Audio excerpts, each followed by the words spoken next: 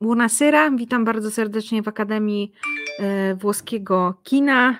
Wszystkie powiadomienia otrzymaliśmy, ruszamy. E, dziękuję wszystkim tym, którzy zdecydowali się dzisiaj wybrać nasze spotkanie jako program wieczorny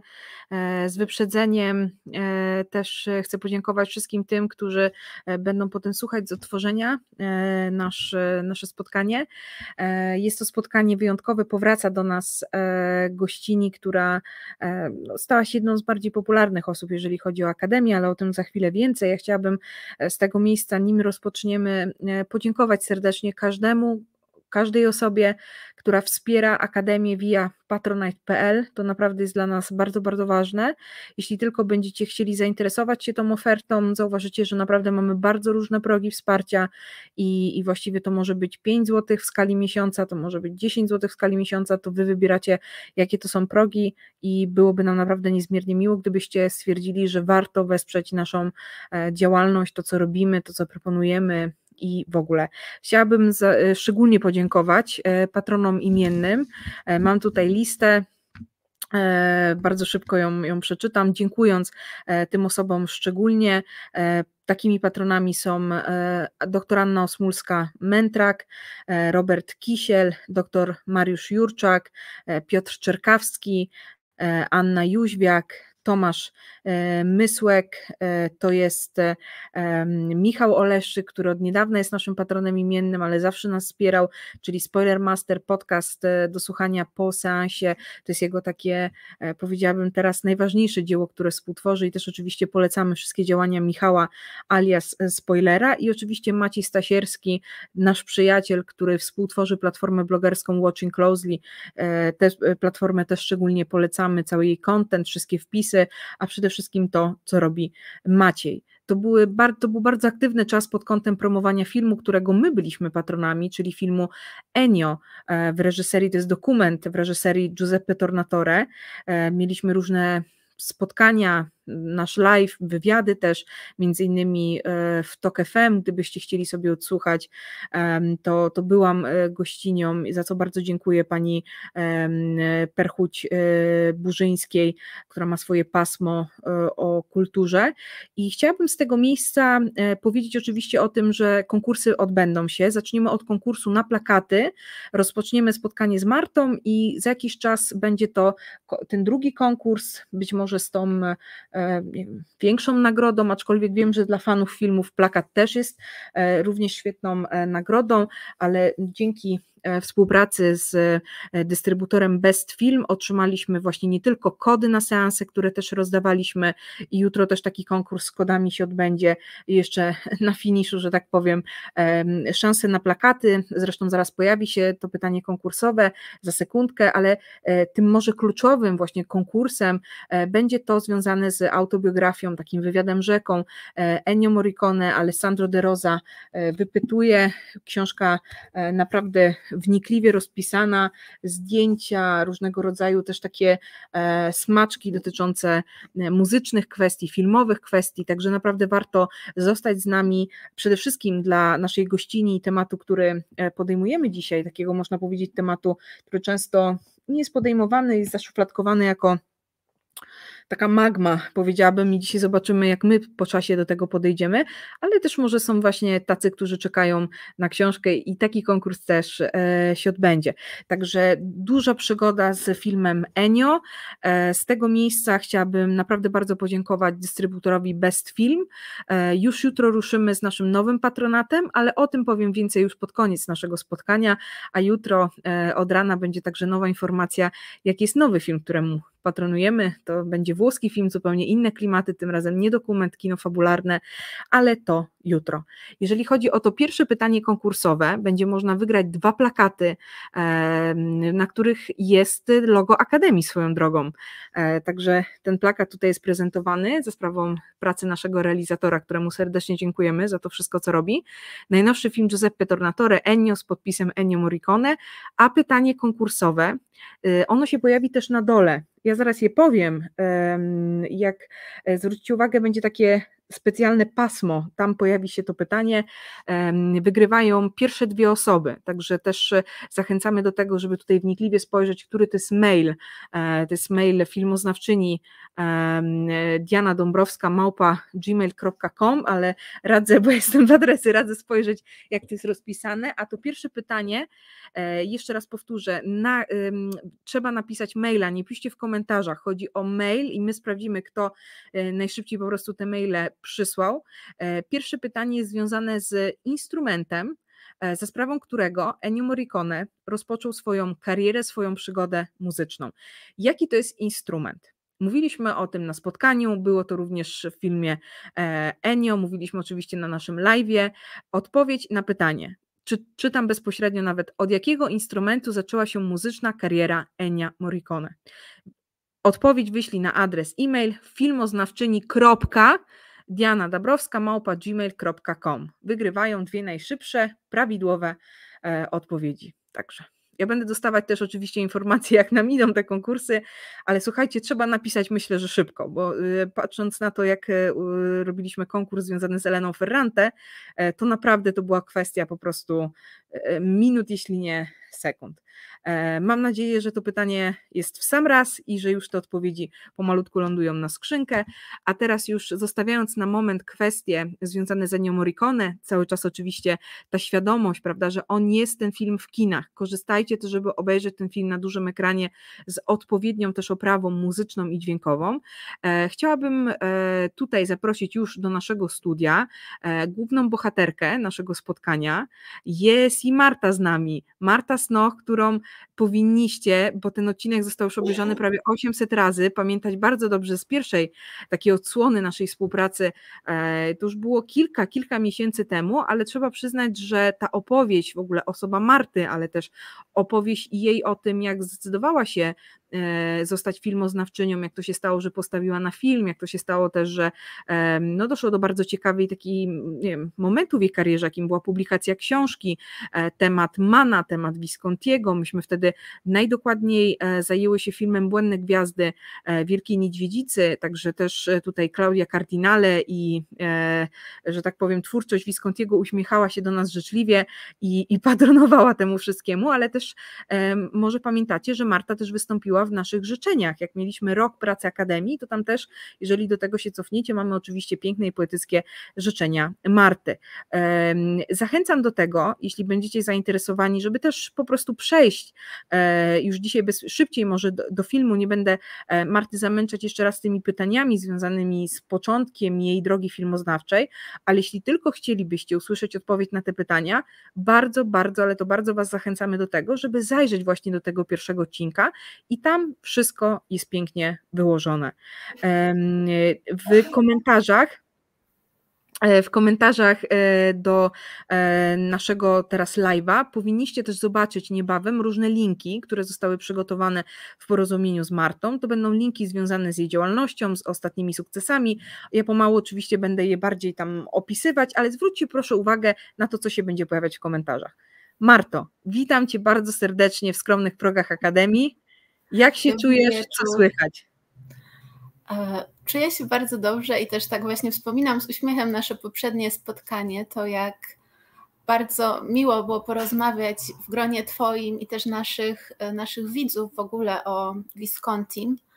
i o Błędnych Gwiazdach, o takim filmie, który myślę, że jeśli ten film pomógł trochę bardziej mu w takiej karierze gdzieś ponownej, to to jakby byłoby to super, bo uważam, że i Klaudia Cardinale i Błędne Gwiazdy zasługują na to, żeby być jak najczęściej oglądane. Nie tylko Zmierzch Bogów, nie tylko Lampard, tylko, tylko właśnie ten film. No i dzisiaj też, tak, prawda, będziemy rozmawiać o takim e, filmie trochę, trochę zapomnianym. No właśnie mam takie poczucie, bo będzie dużo e, o pewnej królowej i że stajesz się w Akademii właśnie królową takich niecodziennych powiązań, dlatego że te nazwiska, które gdzieś e, będą podpisywać, czy też będą podpisane pod tymi projektami, no są ogromne, tak? To mówimy o tak zwanych mostri, tak jak się to mówi, e, mostri sacri włoskiego kina, takie naprawdę pomniki Visconti, dziś między innymi Antonioni, jak się okaże, ale jakby patrząc też na twoją piękną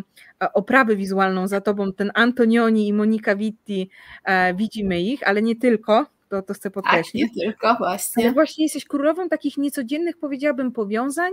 e, i też zwracasz uwagę na takie mniej oczywiste filmy niż ten mainstream, który jest gdzieś w Polsce rozpowszechniony. E, napisali o nich oczywiście najwięksi filmoznawcy i filmoznawczynie z e, Tadeuszem Lubelskim, e, Tadeuszem Miczką, Alicją Helman na czele, ale tak naprawdę pozostaje nawet w karierze tych największych pewne pole do może powrotów, może reinterpretacji. I właściwie Twój pomysł, bo chcę to bardzo wyraźnie podkreślić, żeby e, przyjrzeć się e, twórczości, no znów pomnik Michelangelo Antonioni, ale jednak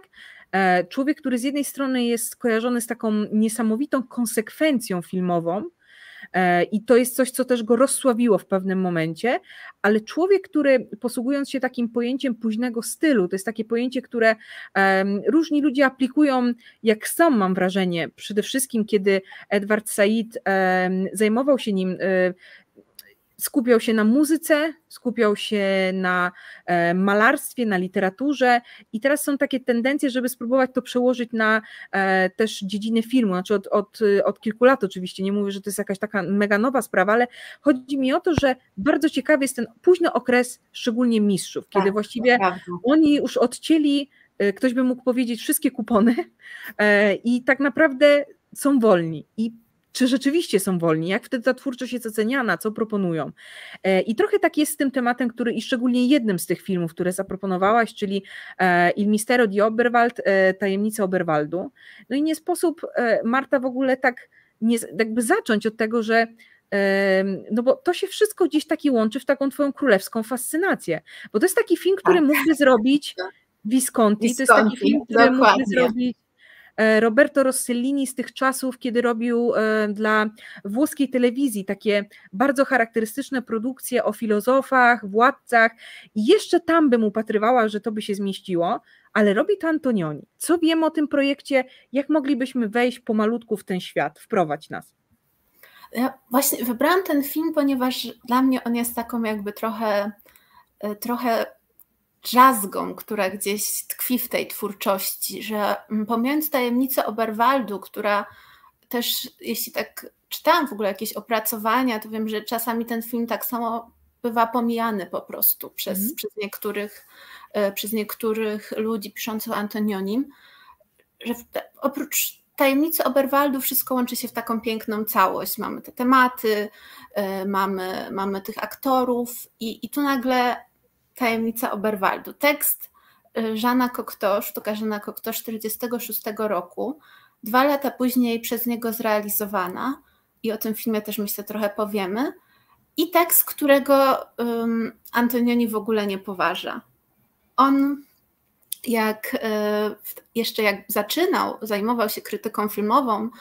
y, zaczynał też trochę pisać scenariusze na początku lat 40 był w tej takiej ekipie Viscontiego, która, która siedziała u niego w mieszkaniu i tam wymyślała tematy, e, żeby uniknąć powołania do wojska, na taką informację się natknęłam, po prostu podjął współpracę z francuską spółką, e, która, która produkowała gości wieczornych, Marcela Carnet i po prostu asystował przy tej produkcji. I spotka, w przeciwieństwie do Viscontiego, którego tak możemy kojarzyć z tym nazwiskiem Żana Cocteau, bo on i byli zaznajomieni na takim gruncie towarzyskim jeszcze w Paryżu w latach 30. i też Visconti wystawiał kilkakrotnie sztuki Cocteau, na przykład Strasznych Rodziców, to Antonioni nie spotkał się we Francji jako przybysz z faszystowskich Włoch, już dodam w okupowanej Francji przez nazistów, nie spotkał się tam z dobrym przyjęciem. I po latach, nawet kiedy, kiedy wspominał o, kiedy pytano go, jak, czego nauczył się dokładnie na tym takim, można powiedzieć, stażu u Francuzów, czy Marcel Carnet miał jakiś wpływ w ogóle na, na jego twórczość, on stanowczo się od tego odżegnywał. Opowiadał też o, o Marcelu Carnet w ogóle w takich dość ostrych słowach, a przy okazji tajemnicy Oberwaldu o samej sztuce Żana kto twierdził, że po prostu nie znosi. I to jest, to jest takie nic. I że ten film tak naprawdę ważniejsza jest w nim forma niż, niż to, co się mówi. I to jest też, wydaje mi się, o tyle ciekawe, że o ile możemy rzeczywiście zobaczyć, że tam z tą formą będą rozmaite, rozmaite takie próby igrania, jakieś eksperymenty i, i, i próby też przełamania tej wersji, wersji Cocteau z 1948 roku, to sama tematyka, to co się też mówi, to że w tym filmie gra jednak Monika Witti, to nie jest tak zupełnie dzieło, dzieło osobne, którego nie możemy w żaden sposób połączyć z innymi, innymi filmami Antonioniego. I, I wydaje mi się, że tutaj chyba najbardziej będę się zgadzać z Marią Kornatowską, która wspomniała, że jednak te tematy śmierci, miłości, tego takiego pędu do, do autodestrukcji, które są w tej sztuce Żana Cocteau, to nie jest coś, co w ogóle nie, że tego nie ma w kinie Antonioniego, bo oczywiście, że jeśli spojrzymy na chociażby poprzedni film Zawód Reporter, to co tam będzie i to tak bardzo wyraźnie, że to są bohaterowie, którzy jednak to igranie ze śmiercią, z jakimś takim niebezpieczeństwem, to, to totalnie jest w tej twórczości. Pojawiło się, e, pojawiło się sporo e, bardzo ciekawych wątków. E, jesteśmy na świeżo po seansie. To też był bardzo ciekawy. No w moim przypadku myślę, że, że, że powrót, bo nie wiem, Zona Europa nie chcę skłamać, 15 lat temu może, jeśli nie więcej. Myślę, że dla ciebie też. Tak, Tele 5, taki kanał. Że, że, że odświeżałaś bardzo mocno sobie te E, późną e, twórczość, którą też tak naprawdę oceniamy jako późną, bo wiemy z biografii Antonioniego, że plany były na dalszą twórczość, tylko niestety w 1985 e, dopada go straszna choroba, która powoduje, że paraliż powoduje też utratę słowa mówionego u Antonioniego. Jeśli zwrócicie uwagę na to, jak Antonioni na przykład odbiera swojego Oscara honorowego,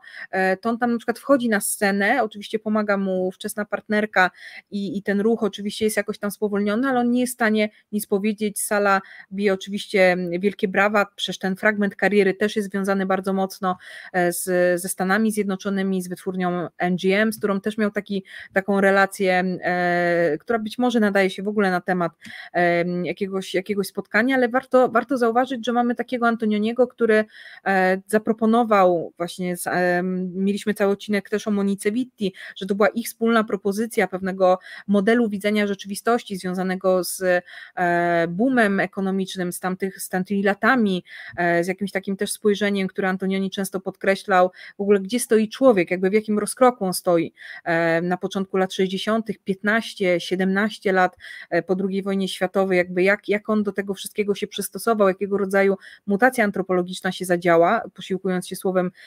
Pasoliniego, takim bardzo charakterystycznym, ale mamy też reżysera, który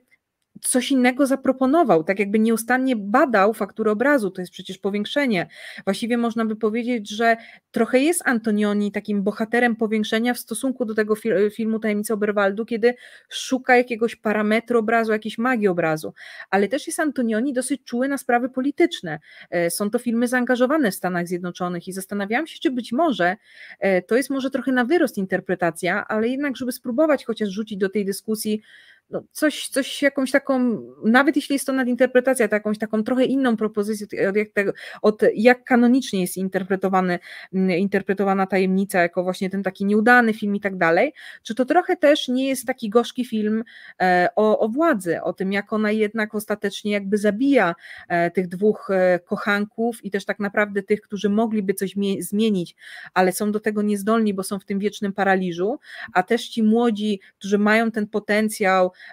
ci młodzi anarchiści też się poddają jakiemuś takiemu, e, prawda, zagmatwaniu losu, który tutaj jakby zarówno on i ona, te dwie, że tak powiem, części tego, tego jabłka, tej natury, która też tam prezentuje się na tym zamczysku i w ogóle, oni jednak żadnej rewolucji, żadnej zmiany nie potrafią dokonać i rządzą wciąż ci sami mieszacze, jak to bywa na dworach, prawda? I to może jest jakaś taka też metafora dotycząca układu władzy wtedy w Europie, czy też e, powiedziałabym wręcz we Włoszech po dekadzie ołowiu. Jakby nie wiem, czy to nie jest trochę trochę nawet nadinterpretacja, bo jednak e, ma więcej krytyków ten film niż ten, ale rzucam to, rzucam to do dyskusji. Ja totalnie się z tą zgadzam też jakby mm, po niedawnej lekturze spojrzenia Antonioniego, tego takiego całego tomu, tam Paulina Kwiatkowska we wstępie pisze, żeby że ona proponuje taki klucz w ogóle mm, bardzo odczytania dzieł Antonioniego w, w kontekście jednak tych wydarzeń, które się działy w tamtych czasach, że te filmy są bardzo zanurzone w, w, tej, w tej rzeczywistości im współczesnej. I, I to jest prawda też pod tym względem, że tuż jakby po tajemnicy Oberwaldu obejrzałam identyfikację kobiety ponownie i tutaj w tym filmie rzeczywiście jednak ta, jest ten taki rozdźwięk między uboższymi, między tymi warstwami rządzącymi, jest, jest o korupcji Włoch. Te wszystkie tematy tam gdzieś tak po prostu podskórnie, podskórnie wybrzmiewają i i tak samo jak zawód reporter, prawda, który też dużo mówił w takim kontekście kolonialnym, w kontekście w ogóle tego terroryzmu lat 70., tego co się wtedy działo, to, to wszystko nigdy nie jest tak powiedziane bardzo wprost, prawda? To nie są jakieś filmy, które, które bardzo krzyczą nawet za bliskie point. Tak trochę się, można powiedzieć, że rozminęło się, nie, oczekiwania niektórych rozminęły się z tym, czym był ten film, ale, ale rzeczywiście taki. Mm, zawsze gdzieś wydaje mi się, że jak Antonioni portretuje te warstwy, warstwy bardziej posiadające taką górną, górną elitę, to zawsze jest w tym taki dość spory krytycyzm, jak chociażby w nocy, prawda? Czy, czy w samej przygodzie, no, w tych, albo w tych filmach nawet z lat 50., których tak, które już może są trochę takie zapomniane, rzeczywiście y, zawsze, zawsze gdzieś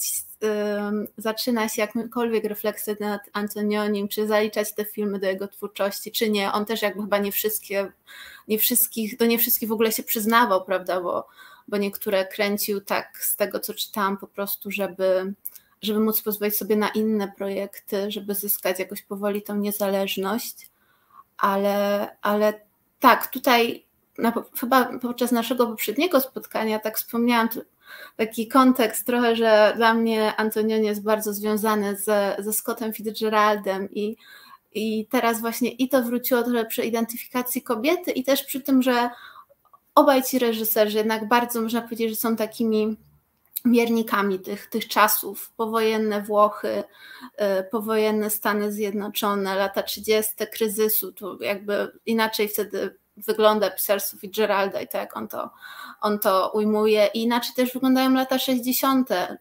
U, u Antonioniego, prawda? Inaczej później to jak będzie pokazał świat w latach 70., aż do lat 80. w identyfikacji kobiety. I też myślę, że to, co będzie ich łączyć, to właśnie to takie krytyczne, krytyczne, ale jednak wciągające spojrzenie na, na te wyższe sfery. Oni, oni obaj gdzieś się będą tak tak może nie bawić w jakąś taką socjalistyczną krytykę, ale pokazywać te takie wszystkie ciemniejsze, ciemniejsze, ciemniejsze mm, wątki, jakieś takie ciemniejsze, ciemniejsze drogi. I tutaj, no, jak pokazuje historia w ogóle Austro-Węgier, cesarstwa Habsburgów, w, tych, w takich wszystkich filmach, których no, obejrzałam ostatnimi czasy naprawdę dużo, o, o, o cesarzowej Sisi, o arcyksięciu Rudolfie i tak dalej, tam te tematy właśnie korupcji, tej biurokracji, tego wszystkiego, co tak gdzieś kryje się pod tym pięknym, mieszczańsko-arystokratycznym wnętrzem tych takich wiedeńskich kamienic, pałaców, no to trochę, trochę można gdzieś też szukać właśnie tych analogii, tak mi się wydaje. Kiedy mówisz o tych klasach wyższych, to też y,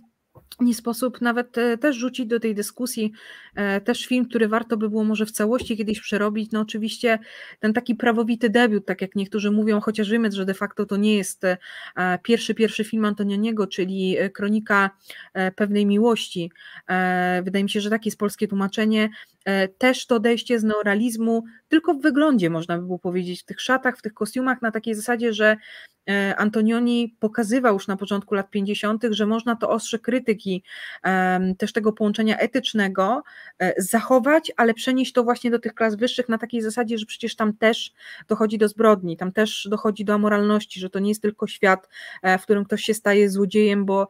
po prostu ktoś skradł mu rower, tak jak jest w złodziejach rowerów, którzy już antycypują, prawda? To jest rzeczywistość, która robi z ciebie złodzieja. A tutaj mamy tak naprawdę ciekawe opowieści o ludziach, którzy by mieli wszystko właściwie, żeby tych zmian być może dokonać, żeby też jakby wprowadzić coś na inne tory. I to wydaje mi się bardzo ciekawe w kontekście tej królowej i też e, na pewno tej opowieści, która będzie się tutaj toczyła gdzieś o e, Elżbiecie Bawarskiej, tak powszechnie znanej jako Sissi, za sprawą szczególnie e, całej serii filmów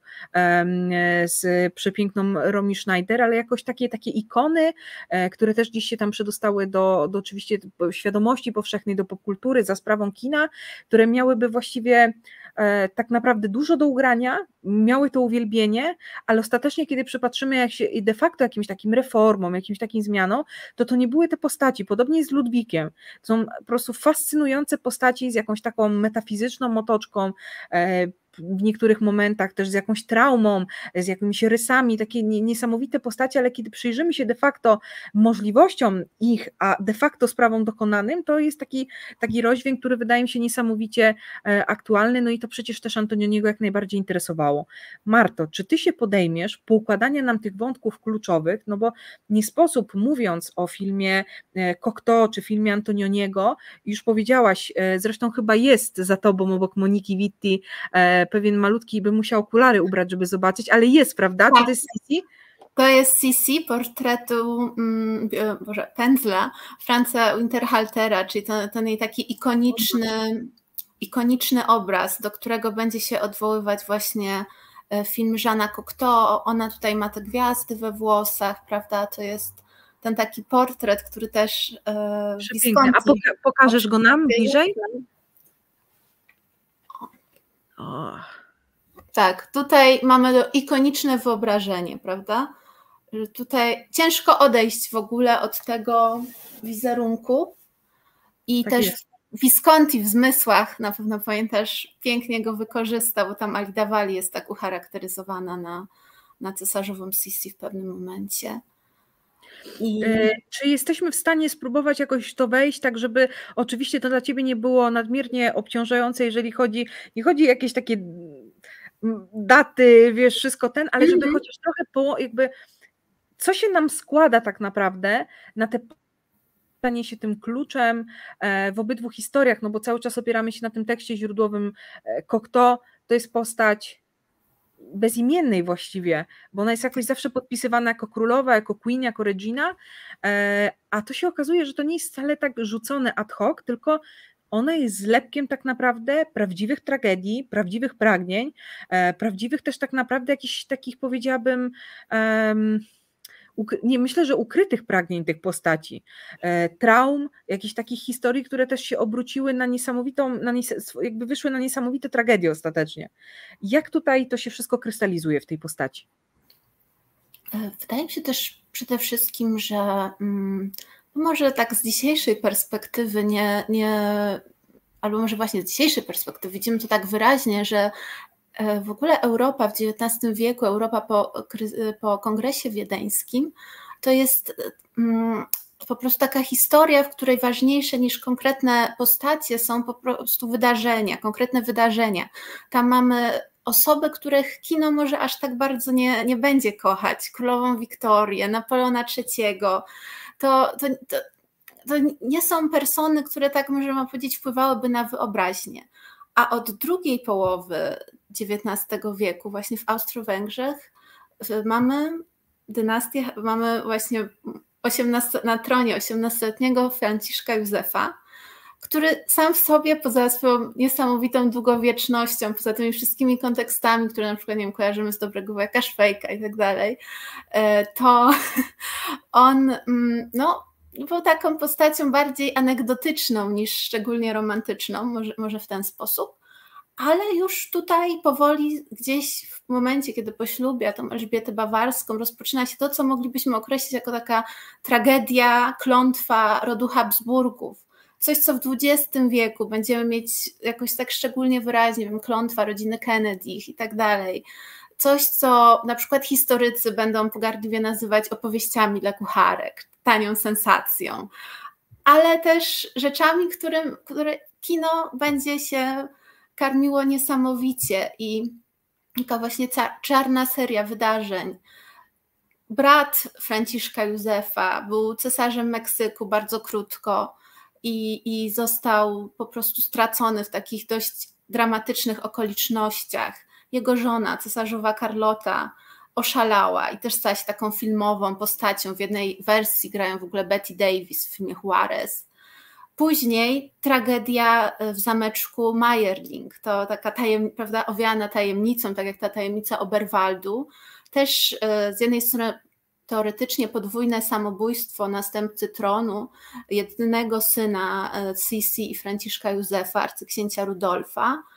e, i młodej, niewinnej, ponoć zdeprawowanej przez niego baronówny Marii Wetsery. I to, to też jakby taki temat niesamowicie kinowy, mnóstwo adaptacji e, i wydaje mi się, że nie do końca może w tamtym momencie jeszcze uświadamiano sobie, jaką wagę będzie mieć to wydarzenie, jak wpłynie w ogóle na losy tak naprawdę całego świata. I ta refleksja nad tym przyszła dopiero po I wojnie światowej, jednak, że Mayerling oznacza też arcyksięcia, że następcą tronu będzie po prostu arcyksiąże Franciszek, Franciszek Ferdynand i który 28 czerwca 1914 roku zostanie, e, zostanie razem ze swoją żoną Zofią von Hotek e, zabity w Sarajewie, co rozpocznie pierwszą wojnę światową. Więc tak jakby tu już ten, ta czarna karuzela tych wydarzeń, jeszcze po drodze będzie w ogóle śmierć też, też z rąk anarchisty cesarzowej Sisi, zabitej pilnikiem w Genewie. Więc jakby tutaj mamy wszystko to, jakby tutaj kino, myślę, że ma, ma, ma duże pole do popisów i rzeczywiście ECC jest takim nośnym tematem i przede wszystkim tragedia w zameczku Mayerling. Tutaj myślę, że każdy gdzieś ma jakieś wspomnienia albo tego filmu z lat 30., albo przede wszystkim e, Terensa Younga 68, gdzie Omar Sharif jest arcyksięciem Rudolfem, Katrin Deneuve, Marią Wetserą. I, i właśnie w e, Sisi może, o ile Mayering był rzeczywiście bardzo wcześnie zekranizowany, były już jakieś takie próby w latach dwudziestych, e, Aleksander Korda chyba w ogóle robił też jak, jakiś film o arcyksięciu Rudolfie, ale w 30 roku wyszła taka francuska książka Mayerling, którą właśnie zekranizował w 1936 roku Anatol Litwak. I na przykład Ant Visconti był pod ogromnym wrażeniem tego filmu. Dla niego wszystkie te tematy, bo tam mamy bardzo ładnie pokazane ten dwór Habsburgów, te ceremoniały, tą austriackość, tą taką egzotykę jednak śniegu i w sensie egzotykę dla Viscontiego oczywiście tego śniegu i, i tej romantyczności i i ten film rzeczywiście był na tyle, wydaje mi się, wpływowy, że jakby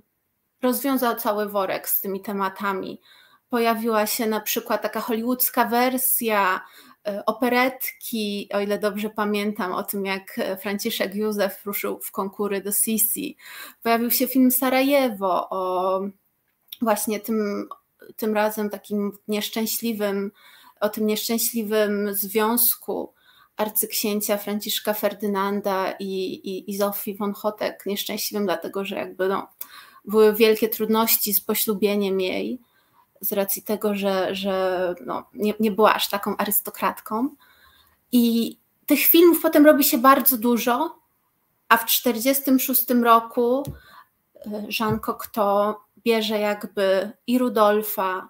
i cesarzową Sisi, i jeszcze postać Ludwika Bawarskiego, prawda, jej kuzyna, Ludwika, o którym ostatnio mówiłyśmy przy okazji Viscontiego,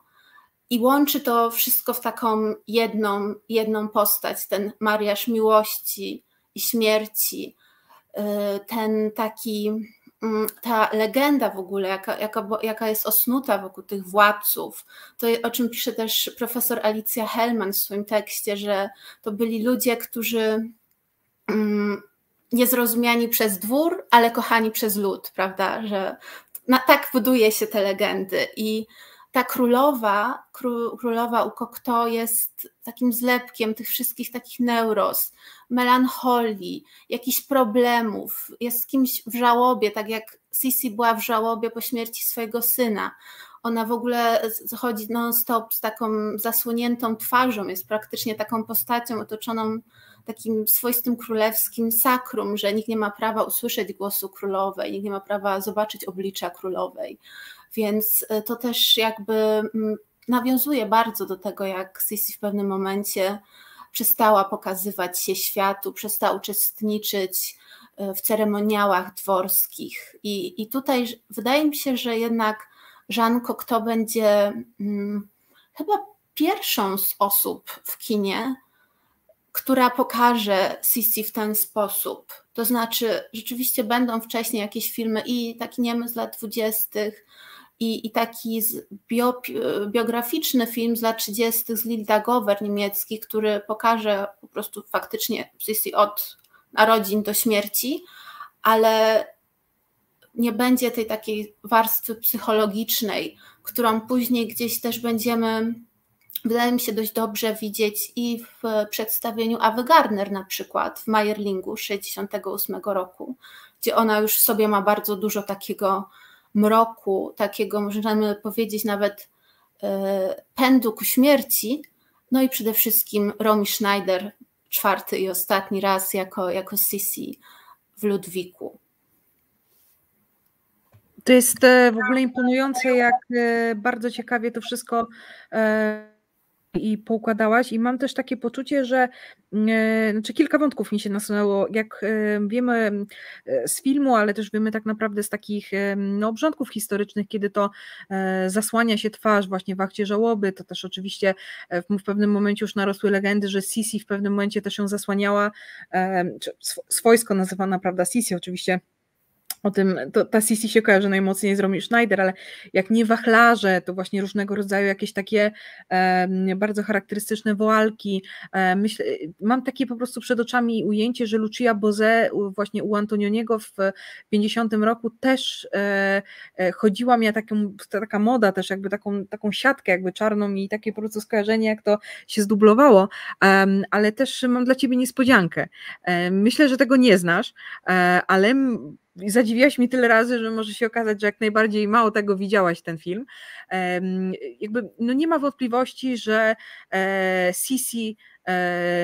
jakby tak się zazębiła jakby z postacią Romy Schneider, że kiedy ona też próbowała się z tego wizerunku tak naprawdę oderwać, to też jakby e, trochę tak jakby klątwa samej Sisi jakby gdzieś tam, e, gdzieś na to jej życie ma się wrażenie, interpretują, że jakoś tam zostało to naznaczone. Kędziorku, chcesz coś powiedzieć? Kędziorek chyba się z nami zaraz przywita, e, ale rzecz w tym, że naprawdę odcinano kupony od tego no, ogromnego sukcesu, jakim była ta seria. I w ogóle takim odkryciem niesamowitym było to, e, poprosiłabym teraz, to jest taki plakat, e, jest Romy Schneider nad wodą, nazywa się to Sisi a Iskia, czyli w tłumaczeniu Sisi w Iski, czy na Iski, przepraszam. Chodzi oczywiście o włoską wyspę. Ko, ko, kojarzysz jakby e, Marta ten wątek, jak się to reklamuje? To jest po prostu aż niesamowite, że tak do tego stopnia odcinano e, te kupony, że film z 1957, który nijak nie nawiązywał, był filmem współczesnym, w którym po prostu występowała Romy Romy Schneider na fali e, po prostu popularności tej serii, miał we włoskim tłumaczeniu po prostu zmienione jakby bezczelnie na Sisi, chociaż w oryginale się to nazywa Scampolo, tak się nazywa postać, którą e, gra po prostu e, ta aktorka i, i zobaczycie dokładnie na tych plakatach, dokładnie po prostu jest bezczelnie e, odcinanie kuponów i powinniśmy zaraz to e, zobaczyć. To, Czekam jest z niecierpliwością.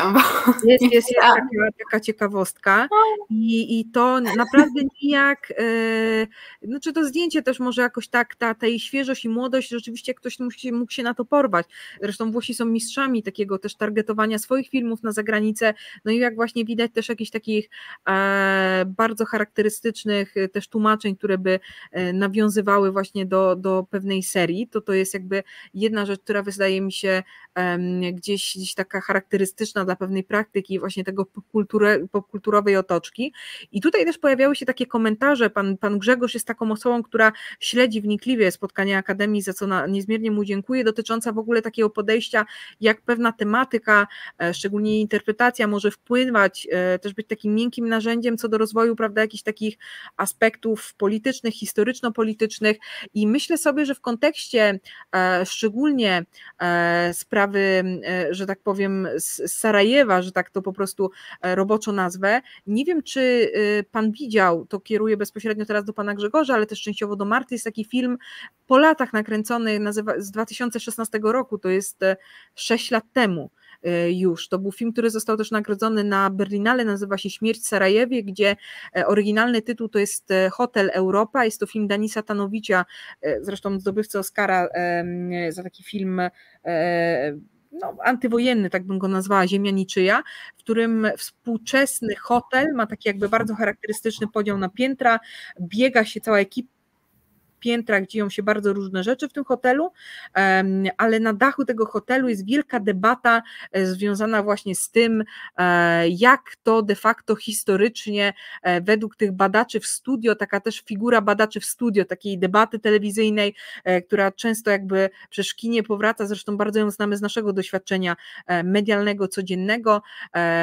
po prostu zaczynają taką dywagację i jak właściwie pewne elementy zdają się w ogóle być niezmienne na przestrzeni tych lat po prostu. E, jest to, jest to naprawdę bardzo ciekawy film, w którym cały ten hotel, Hotel Europa działa jako pewna metafora i tu nawet tak jakby czytając bardzo krótko, żeby Państwu, pracownicy Hotel Europa od miesięcy nie dostają wynagrodzenia, grożą strajkiem i przygotowują się do przyjazdu wysoko postawionych osobistości. W Sarajewie mają się odbyć uroczystości związane z setną rocznicą zamachu na arcyksięcia Franciszka Ferdynanda Habsburga i tam jest de facto, prawda, cała, czy to jest jakby, czy to był spisek i tam zaczyna się, e, zaczyna się cała afera. I tak, i tutaj pan Grzegorz pisze jeszcze o włoskim filmie, który jest takim filmem muzycznym, zresztą wykorzystującym bardzo mocno e, sławę, którą mieli wtedy jako taka bardzo młoda para Romina Power i Albano, którzy później zrobili ten słynny przebój Felicita. I rzeczywiście jest taki e, tak ta forma się nazywa, kiedyś o tym też mówiliśmy na Akademii. E, także jeśli kogoś by ten temat ciekawił, to oczywiście e, pro, pro, zachęcamy do tego, żeby zajrzeć, ale naszym tematem dzisiaj jest trochę inny film i do niego po prostu tylko tak, żeby, e, żeby nakreślić i oczywiście słuchając tutaj tego, co e, Marta dla nas przygotowała i tutaj tak pięknie, elokwentnie cytuję. Na ile masz wrażenie, że no bo jest coś takiego, jak człowiek przyrówna z biografii takich bardziej, powiedziałabym nawet takich nowszych, może nawet właśnie z takimi elementami plotkarskimi, że ten żywot Elżbiety Bawarskiej to jest normalnie taki żywot drugiej Diany, na takiej zasadzie, że oto dziewczyna, która była nieprzystosowana do swojej jakby roli, na którą po prostu jakby przyszło jej ją wypełnić, nie zna tej etykiety, ma cały czas pod górę pod kątem takiego konfliktu ona, a wyżej postawiona, e, tak. nie wiem, wiesz, i, i zaczynają się jakieś takie paralele, ale zaczyna się też po prostu taka historia, nie wiem czy, czy to akurat jest, e, chętnie bym to od Ciebie usłyszała, że to wcale nie chodziło o Sisi, tylko de facto tam Mariasz miał być z jej starszą siostrą, że to w ogóle to właśnie przez konie wszystko, na takiej zasadzie, że e, spotkanie właśnie gdzieś tam taki, takie spojrzenie, jak Sisi po prostu na tym koniu jest jedyną, że tak powiem, osobą, która tak dobrze umie je prowadzić, tak dobrze umie je jakoś tam podporządkować sobie, że ta wizja po prostu tej młodej dziewczyny, która panuje nad żywiołem, e, gdzieś tam miała tego prawda, jakoś księcia, tak jakoś, że to był ten, ten element. Trochę inaczej oczywiście jest to w tej serii filmowej, ale też po co mówię o tym, e, o, o, jakby o tym, dlatego też, że ta, ta jazda konna, ona też będzie ważnym elementem już potem w tym wyobrażeniu filmowym, jako coś też bardzo takiego od właściwie e, początków kina, że tak powiem, koń, prawda, ta ruch, ta faza, to jest coś takiego magicznego. To, to jak to było, powiedz? To właśnie też wydaje mi się, że w tej serii y, tych takich już ikonicznych filmów z Romy Schneider, to mm, praktycznie w, każdy, w każdej części ona jest pokazana w siodle. I, i też ten, ten wątek w ogóle tego, że Franciszek Józef miał y, pierwotnie wybrać jej starszą siostrę, chyba nazwaną Nenę, jeśli dobrze pamiętam, to on, on wybrzmiewa nawet w tej takiej trzeciej części, już, już w tej ostatniej, że Sisi choruje, być może Sisi umrze, czy je, a ta starsza siostra dalej go jednak kocha, więc to jakby, jeśli chodzi o te filmy Ernsta Mariszki, to one faktycznie zbudowały ten mit wokół koni, zbudowały też ten mit wokół jej mm, no, urody po prostu. I, i, I chociaż też w sumie nie musiały jakoś za bardzo, można powiedzieć, budować, bo e, Sisi w ogóle jest, jest, często ma taką opinię, nawet w jakiejś takiej dzisiejszej historii próżnej, cesarzowej, prawda? Ona, można powiedzieć, że ma taki trochę, mm, trochę czarny PR jak Maria Antonina, kogoś, kto. Mm, skupia się za bardzo na swoim wyglądzie, skupia się za bardzo na. Nie ma jej w kraju, gdzie jest potrzebna, jeździ po świecie. Nic nie robi dla tego szarego tłumu, tylko, nie wiem, mebluje swój pałac na Korfu. Uczy się języków zamiast rozwiązywać problemy cesarstwa. A z drugiej strony też te takie wszystkie obsesje, właśnie, no, co rzeczywiście nasuwa bardzo, bardzo ściśle porównanie z księżną Dianą, bo jednak problemy z, w ogóle z żywieniem, tak, ze swoim wizerunkiem. I, I wydaje mi się, że ten film, o którym trochę rozmawiałyśmy, film Korsarz y, Marii Kreutzer, który w tym roku debiutował w Cannes, że on będzie starał się pokazać tak, nie wiem, może będzie taką austriacką odpowiedzią trochę na te filmy Spencer i Jackie y, Pablo Larana, które no właśnie oddają taką sprawiedliwość tym postaciom. I, Jackie Kennedy, z tej, którą jak kojarzymy jak tą kobietę w żałobie, i, i, i księżnej Diany, Dianie, którą też, Diany, którą też kojarzymy właśnie z tylu, stylu takich ikonicznych fotografii, tak jak Sisi, z tych no, już ikonicznych obrazów, że jednak to jest postać wiel, mimo wszystko dalej jakoś tak przez kino nie do końca może zrozumiana, której nie do końca oddano sprawiedliwość pod względem tego, jak, jaką ciekawą po prostu musiała być też osobą, osobą o tylu zainteresowaniach, e, osobą, która korzystała trochę tak jak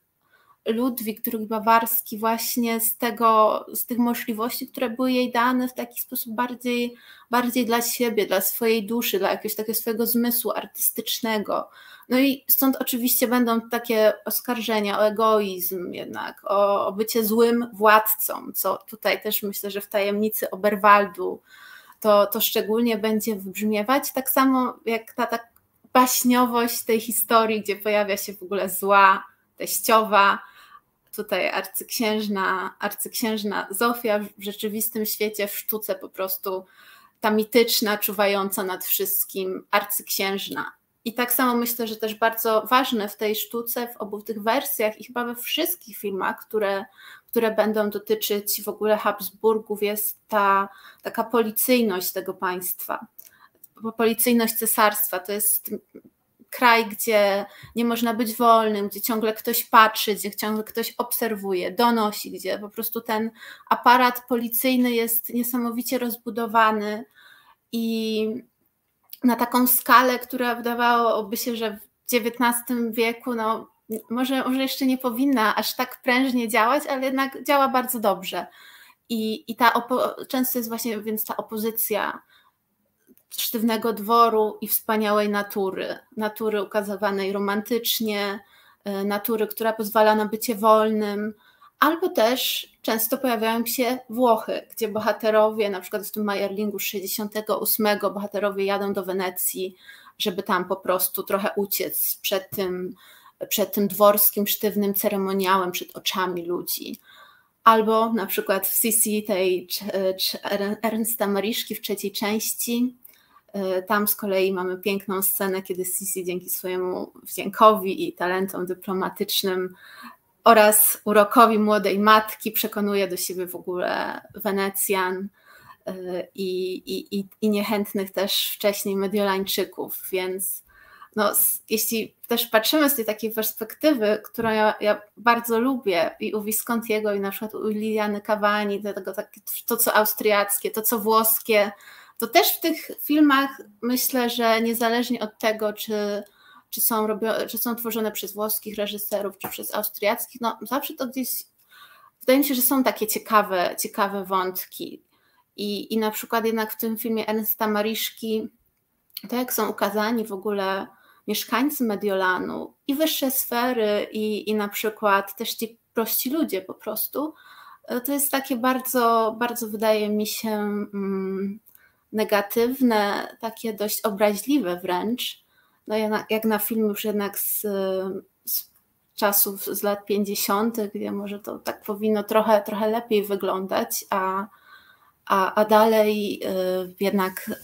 ta, ta włoskość, o której tak trochę mówiłyśmy przy okazji Viscontiego, że na przykład Umana była taka przesadzona czasami, mimo, mimo postaci pana Settembriniego, no to właśnie ona oczami tego, tego, tego tych, tych, takich czołowych y, Kaiser film, filmów, no też jest tak ukazana mm, hmm, nieciekawie, ale rozumiem, że na przykład jednak ogólnie włoscy filmowcy mogli, mogli sympatyzować z tymi postaciami Sisi i, i arcyksięcia Rudolfa, bo to jednak osoby, które y, będą się jak najbardziej wyłamywać tym, temu takiemu opresyjnemu cesarstwu, opresyjnemu, opresyjnemu, opresyjnemu dworowi Habsburgów. E, Kędziorek bardzo chciał dołączyć do, do konwersacji. Tak jest, Kędziorku. Dzisiaj Kędziorek jest bardzo e, aktywny. E, mówiliśmy o tym, e, o tym filmie e, Korsarz, tak? Tak bym e, mówiła ten, ten tytuł, tytuł, który zresztą został świetnie przyjęty na festiwalu w Cannes. Wydaje mi się, że była też nagroda E, dla głównej aktorki tak. E, odczytana albo przez Walerię Golino, albo nawet przez Joannę Kulik. Ten film też będzie niedługo e, w polskiej dystrybucji, także te konteksty, które tutaj są dostarczane, mogą okazać się, okazać się niezwykle cenne pod kątem właśnie tego, no jak ta nowa odsłona, tym bardziej, że wow. też niedawno mieliśmy jakiś serial. Ja co prawda go nie widziałam, przyznam, przyznam uczciwie, ale wiem, że Netflix też zainwestował w jakąś taką opowieść, tak jakby chyba przez Francuzów współprodukowaną, albo jeśli pa pamięć mnie nie myli, ale widziałam trailer tego Corsage i byłam e, zachwycona już nawet samym montażu tego e, trailera, takim bardzo ciekawym zabiegiem dotyczącym ściśniania gorsetu, który wydaje mi się tak. niesamowitą metaforą na różnych poziomach, między innymi dokładnie tego, co tak doskonale opisałaś, właśnie tej opresyjności, tego jak to dosłownie się zapisuje na ciele, takiego pewnego niezrozumienia niektórych um, władczyń, że tak powiem, no bo tutaj e, to porównanie z Marią Antoniną świetne, tak, bo to by było e, też wtedy może ciekawe na pracę, żeby zestawić to Marię Antoninę e, Sofii Coppoli. I teraz ten film też reżyserowany przez kobietę, że też te postaci wreszcie są odczytywane i jest szansa w ogóle, że reżyser mogą e, spojrzeć jakby może z inną wrażliwością, ale właśnie to jej mocniej, mocniej, e, też jak to się wpisuje doskonale w to, w ogóle w tą prawdę historyczną, na ile oczywiście możemy używać takich pojęć, że no, no to ten fetysz tej talii, tego właśnie ordnungu ciała, e, ta gimnastyka, to wszystko, że ta talia miała mieć ponad 45 centymetrów, po urodzeniu czwórki dzieci może 50 centymetrów, ale ta obsesja cielesności jako coś, co wydaje mi się w ogóle ciało jako miara po prostu, e, miara polityczna, miara właśnie tego, co dokładnie i, i wydaje mi się, że to będzie tam ciekawie, będą ciekawe metafory wizualne, które będą e, na ciele tej bohaterki e, poprzez jakieś jej przemiany będą tam, tam oddawane, także myślę, że te zdjęcia pojawią się też, mamy przygotowane kadry z tego filmu, a Vicky Crips możecie też kojarzyć oczywiście z filmu Nić Widmo, który wydaje mi się albo też Wyspa Bergmana z takich najnowszych, jest i ona, e, Tutaj myślę, że można by też e, połączyć to z tajemnicą Oberwaldu i tak, e, tak przejść wyraźnie do, do tego filmu z taką właściwie od, od takiego połączenia kobiecego. Tutaj aktorki, które grały te postaci, no między innymi Monika Witti, w tym artykule, który przeczytałam dzięki tobie Alicji Hellman padała nawet taka uwaga, oczywiście Sisi jako ta najpiękniejsza kobieta Europy, ale też taki ciekawy zabieg, w którym mamy przy tym wyobrażeniu Romy Schneider aktorkę, która no nie miała wtedy 30 czy 20 lat. Jest to w innym położeniu, że tak powiem, postać. Jeszcze inne było spojrzenie. E, teraz inaczej patrzymy też na te kwestie jako krytycy, jako filmoznawcy, filmoznawczynie, ale w kontekście, kiedy ten tekst był pisany, jak się odnosił też do recepcji ówcześnie, no to też mamy bardzo ciekawe takie jakby przetworzenie kariery Moniki Witti, która po tej e, karierze z Antonionim, potem karierze w komediach, powraca właśnie w takim gorsecie. I ona tam, Alicja Hellman, dosyć tak, czy to złośliwie, trudno mi ocenić, ale także, no, że nie najpiękniejsza Witti. Ja mam zawsze, jak to słyszę, tak mi jest smutno, bo uważam, że Monika Witti jest w ogóle najpiękniejsza, najcudowniejsza w każdym wieku, ale, ale jest coś na rzeczy, że E, też takim tematem tutaj, w tym ten, to jest e, jakiś taki temat w ogóle ucieczki przed czymś, tak? Ucieczki przed tym czasem, który mija, przed tą urodą, która umyka z tym czasem. E, nie wiem, takiego nieszczęścia życiowego, który w tych klątwach, które opisałaś, tak? Jakby jest coś takiego, że jest w tym coś niesamowicie smutnego, kiedy ta królowa sama spożywa posiłek, patrząc w portret e, swojego e, no, ukochanego, który zmarł, jak to mamy w filmie i też w tym tekście wyjściowym e, w dniu ślubu. Czyli mamy też takie poczucie takiej kobiety, która jest niekompletna na wielu poziomach, e, bo też ta sugestia, jakoby nie doszło do um, zbliżenia, też jest tam bardzo e, wyraźna i ta decyzja jej, żeby właściwie zamrozić swoje życie i tak wegetować cały czas, jest taka jakby bardzo, e, bardzo kompletna. Ja też, jeśli chodzi o tą w ogóle scenę, gdzie królowa będzie ucztować zmarłym królem, zawsze mam trochę takie skojarzenia mimo wszystko z Don Giovanni, z tą taką jego ostatnią ostatnią wieczerzą, kiedy, kiedy on czeka na tą śmierć, na, która po niego przyjdzie i wydaje mi się, że właśnie ten też ten motyw czekania na śmierć właśnie w tym zamrożeniu to jest taki bardzo, bardzo w stylu Żana Cocteau, prawda? On później zrealizuje też Orfeusza kilka lat później y, z też, też Żanem Mare i mm, tam rzeczywiście będzie mieć piękną śmierć Marię Casares i tutaj też mamy piękną śmierć, można tak powiedzieć, takiego piękną śmierć, która wygląda jak król. I też takie, też ten teatr w teatrze, tworzenie tego mitu, tej opowieści przez samą, samą tą królową, która jednak widząc tego młodego człowieka wyglądającego jak 10 lat wcześniej zmarły król, po prostu zaczyna wchodzić trochę w taką rolę w ogóle autorki tego dramatu i sama, sama tą historię będzie, będzie, będzie jakoś tak przywoływać, będzie ją reżyserować, można powiedzieć.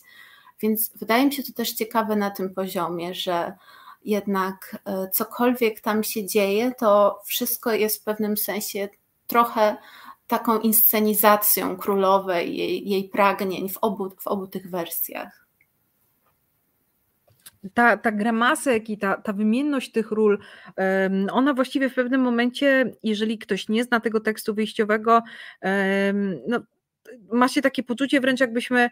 obcowali trochę z Romeo i Julią, na, tako, na takiej zasadzie, że jest to tak, że tak powiem, taka śmierć kochanków, e, sobie pisanych, którzy tutaj zażywają jakieś trucizny. Jasne, tekst, kto to jedno, ale wydaje mi się, że po prostu to też jest taka historia, którą my znamy, w której jednak musi dojść do tego, że to fatum dopadnie i po prostu te rachunki zostaną e, wyrównane. I też e, przypomniało mi się, jak mówiłaś o śmierci Elżbiety, że e, ten, ten słynny pilnik, który trafił komorę sercową, i to był włoski anarchista. I kiedy o tych Mediolańczykach i o tej Wenecji, to takie miałam, że ironia, o ironio, że jak, jak to się po, połączyło wszystko i też jakby e, przecież takie postaci, które e, właściwie nie wiem, urodziły się po to, żeby dokonać jakichś zniszczeń, e, czyli no, zabić na przykład znaną osobę albo e, królewsko osadzoną wysoko jakby osobę, no to przecież to jest temat, który e, też przecież współcześnie był pokazywany chociażby w tej historii o Versace, w tej serii, prawda, jakby serialowej, ale też myślę sobie, że to by był może ciekawy film z perspektywy właśnie tego, który popełnił te zbrodnie. To też chyba takiego akurat rozdania filmowego nie ma, jeśli jest to oczywiście poprawnie.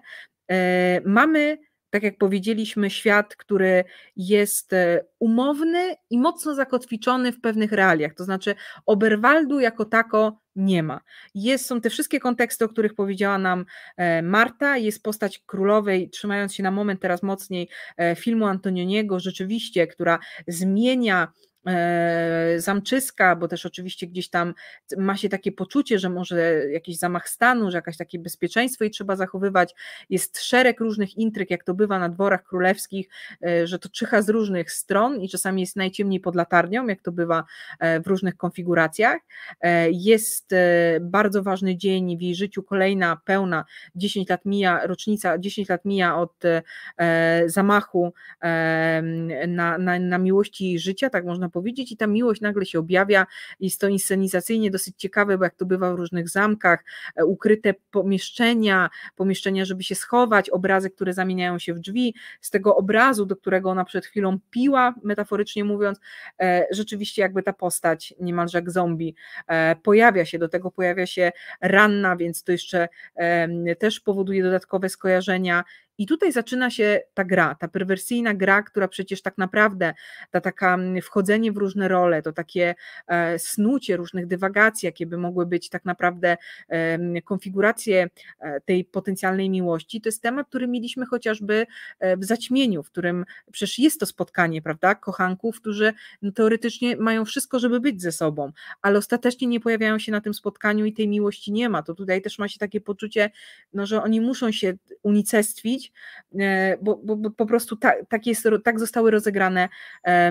te karty, więc te skojarzenia z tymi filmami wcześniejszymi Antoniego pojawiają się jak najbardziej, ale w tym filmie mamy z jednej strony głosy, tutaj Alicja Hellman by była pierwszą piszącą w tym kierunku, e, głosy prowadzące do tego, że to jest film nieudany, film, e, który jest niezwykle teatralny, też taki jakby ubogo zrealizowany pod kątem jakiejś takiej e, infantylności niektórych rozwiązań, bogactwa, jeżeli chodzi o kolorystykę, jakieś takie e, zmiany tonacji, ale tylko jakby w obszarze powierzchni, ale że ten film nie ma głębi. I to pytanie tutaj, które ty postawiłaś jako tytuł tego naszego spotkania, czy to jest porażka, artystyczna porażka, czy też może jednak zapomniane wielkie dzieło, zapomniane arcydzieło, gdzie się plasuje zdanie Marty tutaj? Powiedz. Przede wszystkim dla mnie głównym atutem tego filmu i tutaj muszę też podziękować bardzo za spotkanie Twoje i doktor Anny Osmolskiej-Mentra, która po prostu cudownie podsumowuje karierę Moniki Witti. I dla mnie ten film jest w całości po prostu takim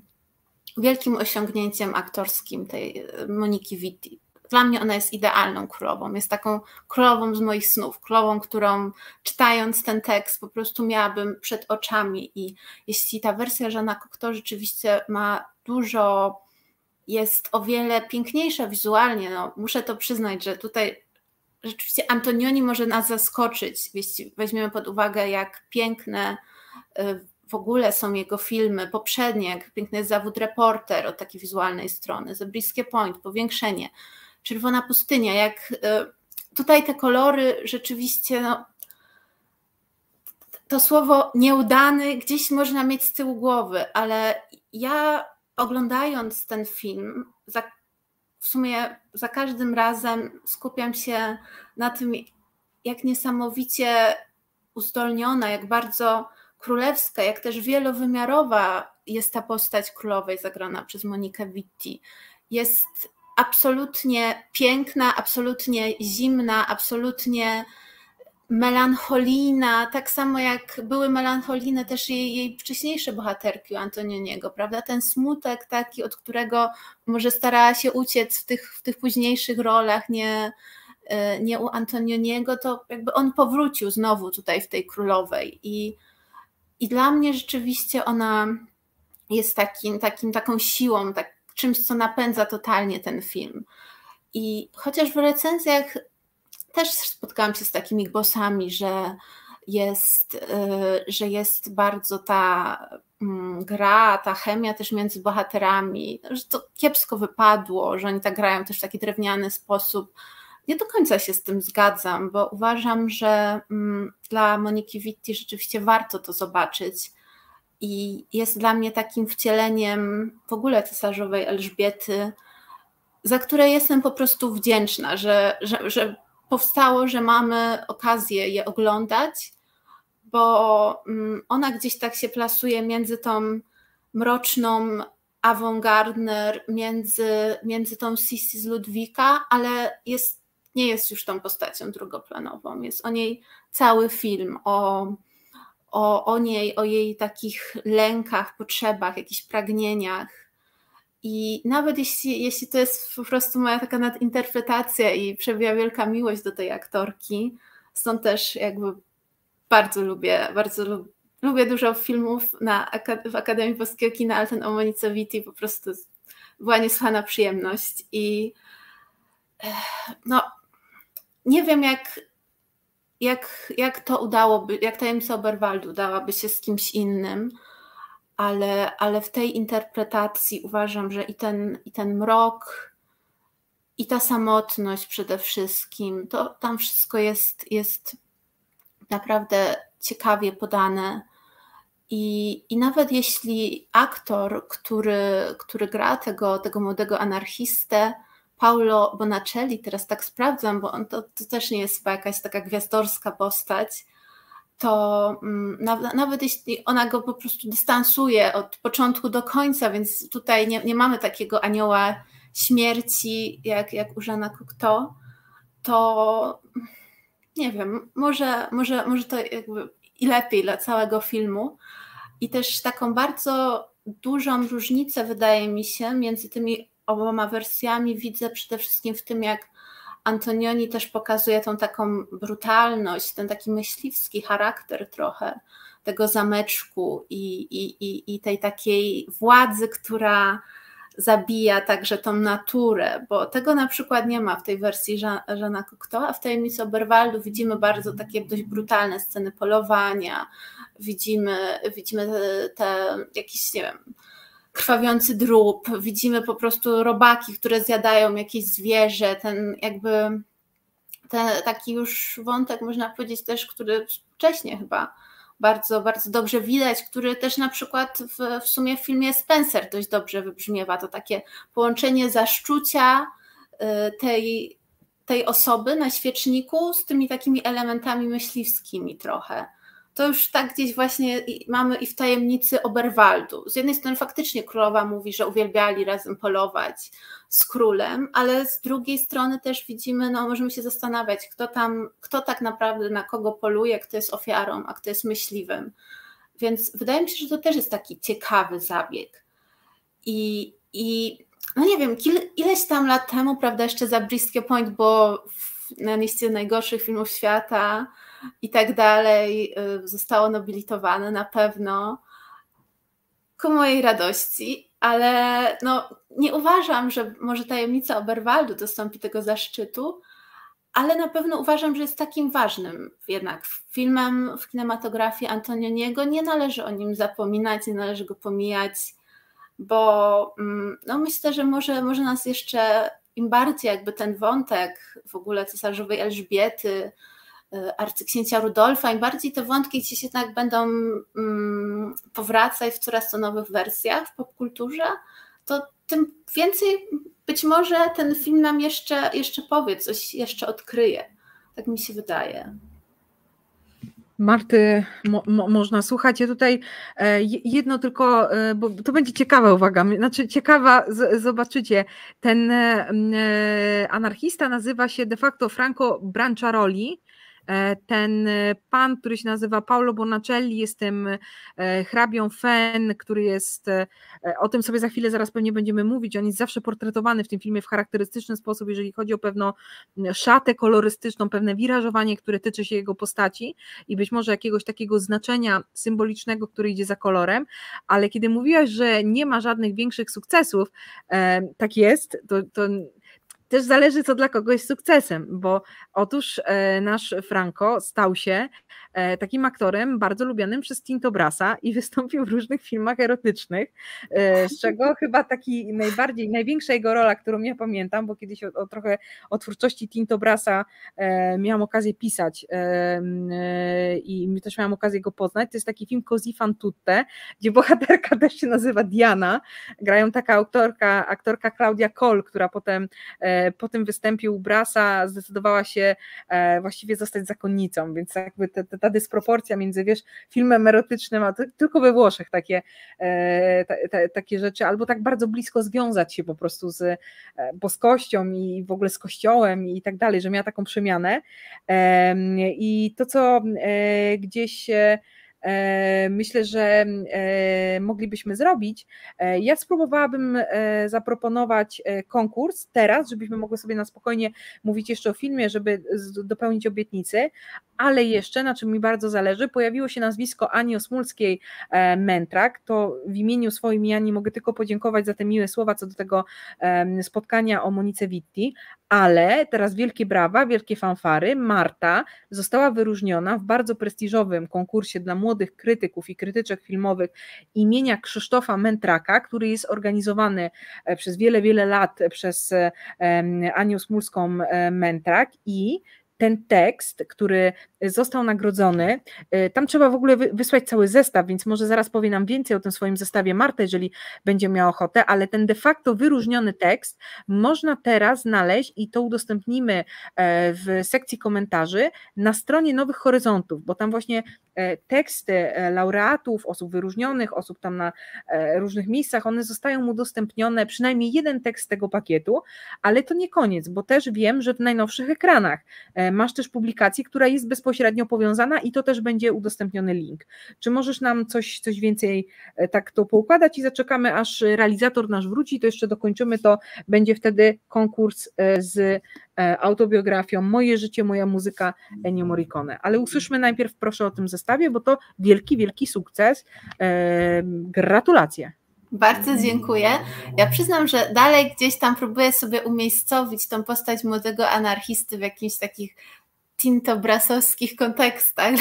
Tego bardzo też dziękuję za, za, za tą uwagę, bo mm, nie, nie sprawdzałam jego kariery rzeczywiście aż tak, tylko zobaczyłam po prostu kilka nieznanych tytułów, a ja teraz mam wrażenie, jak ty byś była Sissi, bo masz sobie taką, takie, takie, taki czar, w ogóle masz sobie taką, e, a to jest komplement, żebyście tylko źle tego nie odebrali, ale Marta ma w sobie coś takiego arystokratycznego. I ja po prostu teraz mam takie poczucie właśnie, jak ja bym była tą taką wulgarną, erotyczną chłopką, która cię namawia do złego, że oglądaj filmy Tintobrasa, ale słuchajcie, pamiętam jak dziś, jak on bierze tą, e, w którymś filmie Brasa jest tekst, który jest na zasadzie najgorsze teksty filmowe świata,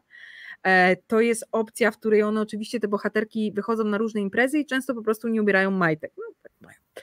I, I, gdzieś dotykane podczas tańca, no bo jaki jest największy, czasami tańcząc albo czasami stojąc przy barze, ta ręka, ten,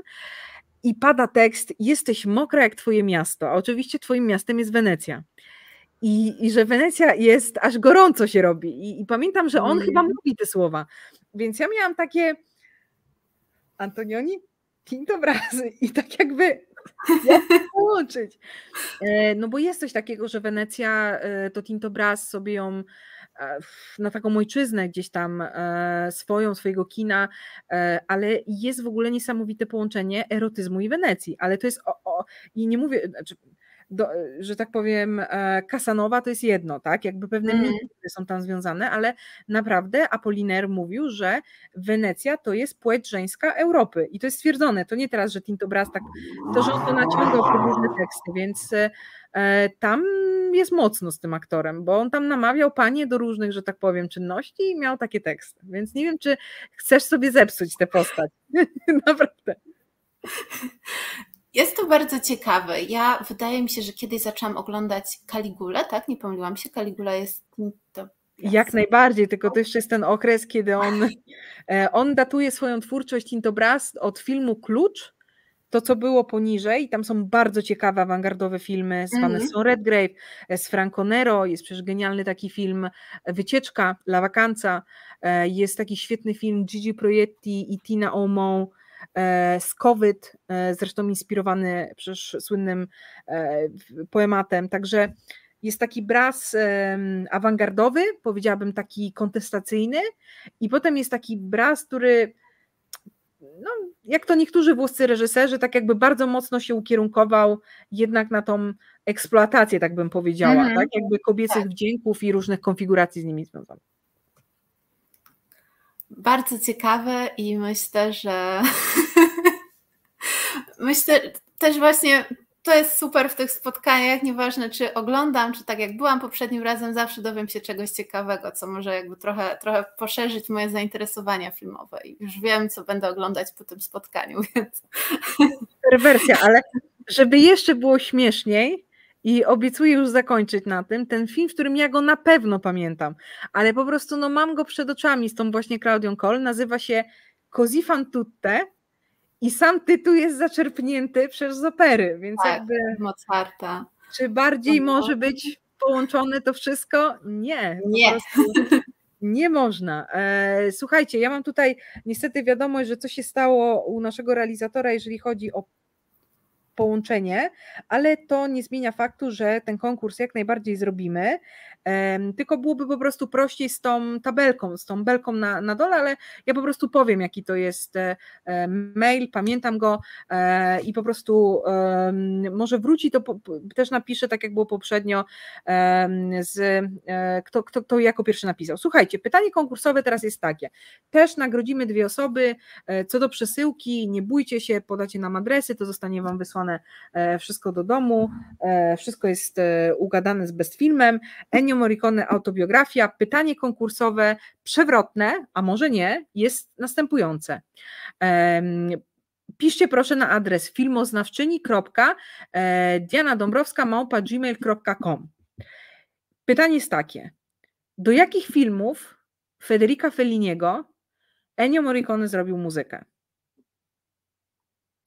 Więc to jest pytanie. Powtarzam, do jakich filmów Federico, Federica, właściwie odmieniając Felliniego, Ennio Morricone, ten oto pan w tych oprawkach, ta twarz zrobiła i te ręce utworzyły po prostu ta głowa e, muzykę do filmu. Powtarzam, maila to jest e, filmoznawczyni.diana e, bez on małpa gmail.com. Także powodzenia to tutaj kończymy temat, wracamy e, do naszego pięknego, e, że tak powiem, arystokratycznego świata, w którym niepodzielnie rządzi e, Marta ze swoją wiedzą, ze swoją charyzmą, ze swoją erudycją. Mamy film, który próbujesz z różnych stron, mam wrażenie, tak odkopać. Film, do którego często się nie wraca pod kątem, chyba że na Mubi może najprędzej by, ale nie, nie ma jakichś takich, prawda, jakoś tak nie kojarzę, żeby w kinie, bo też jest taki trochę problem techniczny z tym, z tym filmem, jakby nawet te kopie, które się znajdują w sieci, człowiek ma taki znak zapytania, tak jakby na ile już jest starość tej kopii, czy na ile jest to ten zabieg, który Michelangelo Antonioni chciał. Bo człowiek, który tak bardzo stawiał przez całe życie na formę, e, tak bardzo starał się też być na bieżąco, jeżeli chodzi o jakieś takie sprawy związane z technologią filmową e, i z fakturą obrazu, właśnie ta, ta, ta tutaj dialektyka, powierzchnia, głębia i też w interpretacji tych królewskich osób jest na tyle ciekawa, że ona jakby jest tematyzowana trochę e, przez zabieg, który Antonioni dokonuje. Od czasów Czerwonej Pustyni być może najbardziej taki awangardowy w swoim zamierzeniu film, film kręcony w, znaczy poprzez technologię wideo, przerzucony następnie na taśmę 35, na taśmę kinową. Kierunek no, można powiedzieć wręcz tak, jakbyśmy mieli, wiecie Państwo, filmy wideo, e, które zresztą taka no, technologia, która jest nowoczesna, awangardowa, przełomowa, dziwaczna, możemy sobie dopisać różne sytuacje, a temat filmu taki staroświecki, kombinacja, którą tylko Antoniniemu, prawda, się to kombinuje. E, jak, e, jak ci się to, że tak powiem, oglądało za pierwszym razem? E, czy teraz e, śledząc też pod kątem naszego spotkania, żeby też przywołać pewne sceny, miałaś tak, że jakoś ten, ten zabieg bardziej jakoś tak może udało się podporządkować pewną logikę, czy on właśnie świadomie ucieka od takiego podporządkowania logicznego, że nie wiem, scena o znamionach miłosnych, takie wirażowanie, postać, takie wirażowanie. E, czy tutaj masz pewne takie podziały? Przede wszystkim pierwszy raz rzeczywiście widziałam ten film w bardzo, bardzo złej jakości, także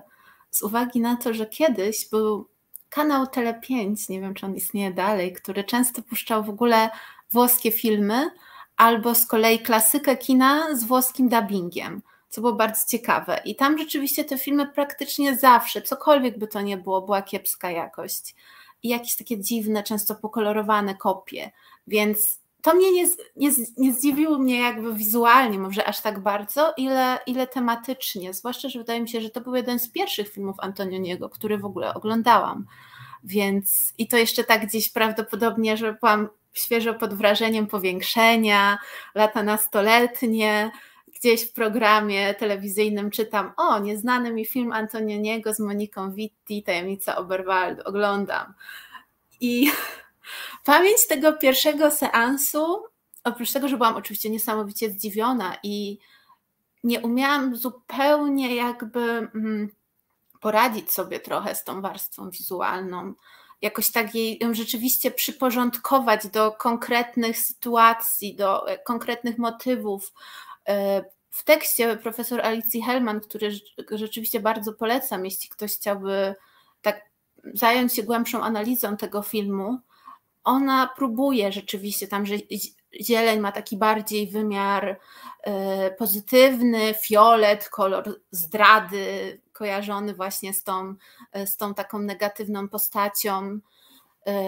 tego, tego kapitana policji, tego właśnie pana, które, którego nazwisko pomyliłam. Tak, szef, szef policji i on jest hrabia Fe, Fenu, on jest jakoś tak, tak jakoś wymawiany. I, I rzeczywiście można się bawić w te analizy, ale mm, no jest to rzeczywiście taki.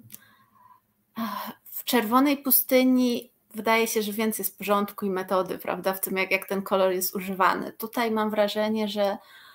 jest, y, nie wiem, czy nie do końca, nie do końca się udało, czy może jednak ta,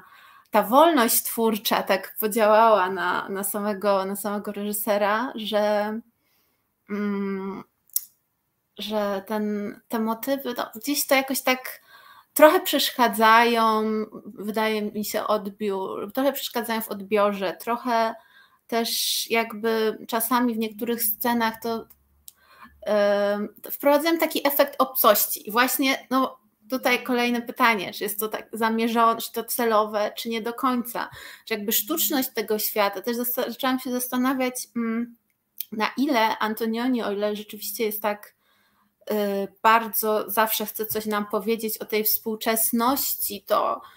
na ile on tu może się też odnosić do takiej trochę nostalgii, do ogólnie jakiegoś takiego swojego spojrzenia na, na to retro, które w sumie w kinie lat 70., prawda, zaczęło też jakoś tak szczególnie wracać. Mamy te wszystkie adaptacje, nie wiem, właśnie Scotta Fitzgeralda, Agaty Christie,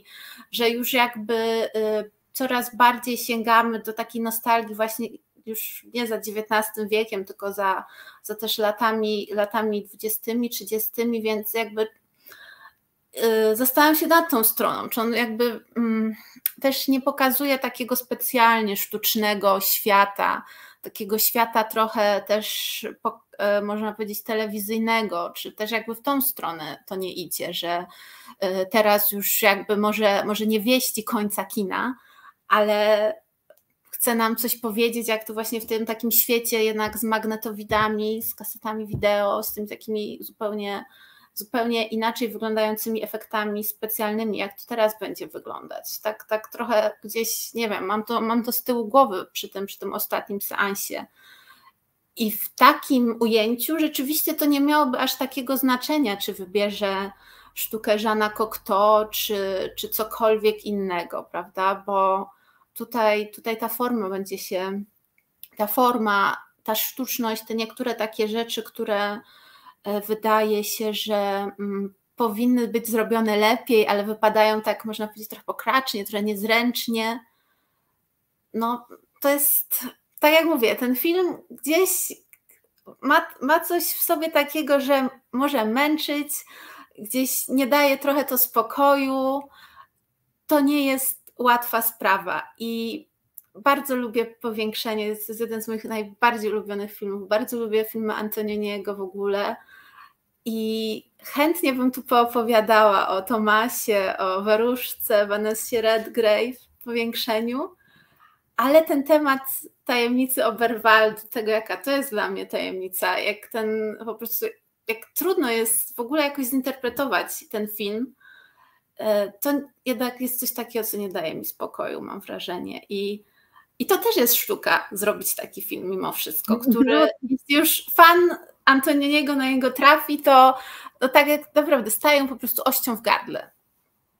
E, jest w tym tekście Alicji Hellman e, taki cytat, że największą tajemnica, największa tajemnica w tajemnicy Oberwaldu polega na tym, dlaczego Antonioni w ogóle zrobił ten film. I ona to złośliwie oczywiście przetaczała za e, różnymi krytykami, tam między innymi tak. powołując się szczególnie na tą recepcję w Stanach Zjednoczonych, no bo też to doświadczenie mam wrażenie zaraz po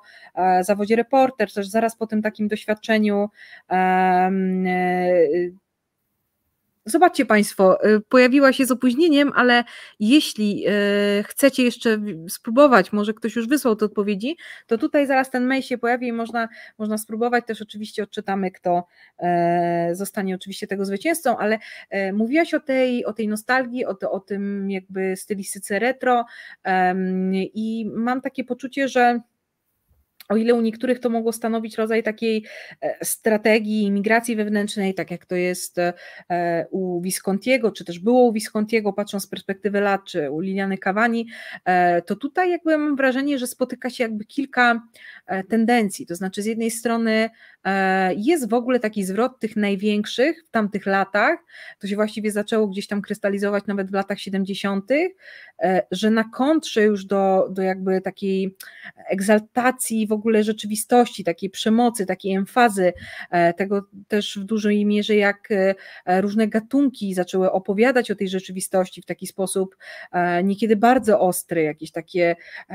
nie wiem, zjadanie samych siebie, że tutaj to zwolnienie to jest taki jakby też pewnym aktem, że jakby wybór tego tekstu, kiedy czytałam to w tym tekście Hellman, tam pada taki, taka wypowiedź Antonioniego, ona zresztą tutaj była przywoływana i na pewno ona istnieje bibliograficznie, ja tego nie neguję, że e, właściwie ten tekst niczym go nie porwał i tak dalej, ale jednak no, decydujesz się, żeby zrobić potem ten film, prawda? To jest pewne zobowiązanie i nie ma, to nie jest tajemnica, że Antonioni z Moniką Vitti poznali się najpierw za sprawą teatru. Ich też oczywiście połączył dubbing później, więc to takie i, i mam takie poczucie, jak to by był taki powrót do Włoch, powrót y, do Moniki Vitti, powrót do części siebie, powrót do takiego spotkania też, którym można e, właśnie połączyć, że do najbardziej możliwie staroświeckiego filmu jest taka, a nie inna forma, której e, no nie jeden mógłby pozazdrościć, jeżeli chodzi o jakieś takie wyprzedzanie, e, eksperymentowanie i tak dalej, że tutaj spotyka się wiele nici i też jakoś mam takie poczucie, że kiedy, nie wiem, rozpisuje się e, krytyka na temat niektórych filmów Fassbindera e, z lat 70., które były bardzo e, skosniałe w taki sposób świadomy, mówiło się bardzo często o takiej brechtowskiej metodzie, no to tam widać metodę, widać zamysł, a tutaj, że to jest po prostu źle nagrane, źle nakręcone i, i tak naprawdę no nie wiem, no jasne, tutaj bronimy tego filmu, to widać, ale mam takie poczucie, że też y, nie, nie, jakby najłatwiej jest powiedzieć, że to po prostu zostało źle zrobione, a nie docenia się może jakiegoś elementu strategii, że wszyscy grają tak, żeby też w pewnym momencie na przykład bardziej wybrzmiała Monika Witti. To też jest może pewnego rodzaju strategia, żeby ona trochę tak wróciła na deski teatru, bo tam jest wiele tak naprawdę scen tak rozegranych, tak jakby to był nagrany gdzieś tam teatr e, chwilami, tak jakby te, te, te zamknięte przestrzenie i bardzo mi się też podobała Twoja uwaga wcześniejsza, e, bo, bo te, też, też jakby miałam takie poczucie, że e, ta taka nie wiem, walka trochę tych żywiołów, że to z zewnątrz przychodzi wolność, przychodzi e, wiem, ten poeta, przychodzi ta anarchia, przychodzi jakaś możliwość zmiany i E, te, te zwierzęta, które są e, ścigane przez, tą, e, przez tych myśliwych, potem też przez tą policję, że właściwie to jest tak, jak często bywa w tych przemyślanych dziełach mistrzów, że właściwie ta historia jest opowiedziana od pierwszego ujęcia, że oni też właściwie zostaną tak stłamszeni, że to jest w tym pierwszym ujęciu. A kiedy mówiłaś o Spencer, to pomyślałam też o serialu The Crown. Nie wiem, czy jesteś fanką, czy oglądałaś. Czwarty, teraz był czwarty, poprawcie, czwarty, w którym jest e, e, w Highgrove e, jest takie jakby pasowanie trochę Diany na takie testowanie jej i jest polowanie na jelenia, który jest ranny. I to jest dokładnie to, co ty powiedziałeś, że w tym i, i Charles może się tak czuć jako ten upolowany jeleń, ale ostatecznie właśnie kto tu jest e, ofiarą, kto tutaj jest katem, jakby czy de facto tutaj nie mamy dwóch ofiar, a, a, a właśnie kim, jakby takie bardzo ciekawe, kiedy ten, ten jeleń się pojawia i takie też miałam skojarzenie. E, także tu jest, kurczę, to jest tak nieoczywiste, ty tak pięknie też o tym mówisz. Mamy te pierwsze skrzypce e, no, jednej z największych gwiazd, ale takich zasłużenie gwiazd, po prostu e, no, wybitnych aktorek włoskiego kina, która tak naprawdę potrafi, właściwie ten film mógłby nosić taki podtytuł Identyfikacja kobiety, bo ona też jako kobieta identyfikuje się w tym nowym uczuciu, w tym jakimś takim rozdarciu między jakimiś tam chęcią zmiany, a właśnie też takim, nie wiem, takiej misji życiowej, która polega na tym, że ona żyć nie chce i to jest takie niesamowicie gdzieś tam złożone po prostu i to jest wszystko pięknie oddane. E, jest taka, taka informacja, że piszcie śmiało, odpowiadajcie na to pytanie. Jeszcze jedna książka jest do wzięcia. Także e, filmoznawczyni.diana Dabrowska gmail piszcie. E, Marta, oddaję Ci głos. No tutaj właśnie też, też zgłaszam się jako miłośniczka serialu The Crown, więc tak też gdzieś właśnie te, te motywy myśliwskie, rzeczywiście może ten serial mnie trochę na nie tak samo uwrażliwił. I mm, też wydaje mi się, że bardzo, bardzo ciekawa w tajemnicy Oberwaldu mm, będzie, będzie to wszystko, z czego zrezygnował Antonioni tak naprawdę w stosunku do tej, do tej wcześniejszej wersji bo u Żana Cocteau dwugłowym orle. E, w tym, w tym filmie z 1948 roku rzeczywiście jest dużo, mm, bardzo dużo nawiązań takich te, do tej ikonografii Habsburgów. Sam tytuł, prawda, który nawiązuje do tego godła z orłem. Tam nie mamy żadnych wątpliwości, że królowa to jest Sisi, bo jest pokazana właśnie i w tym takim, ten, w tym charakterystycznym uczesaniu i też jest scena z jej in, instrumentami do ćwiczeń, z tymi przyrządami takimi wszystkimi, które e, gdzieś, gdzieś też jakby były tymi trochę narzędziami opresji tak samo, że to był ten obowiązek, prawda, zachowania, zachowania figury. I też ten film mm,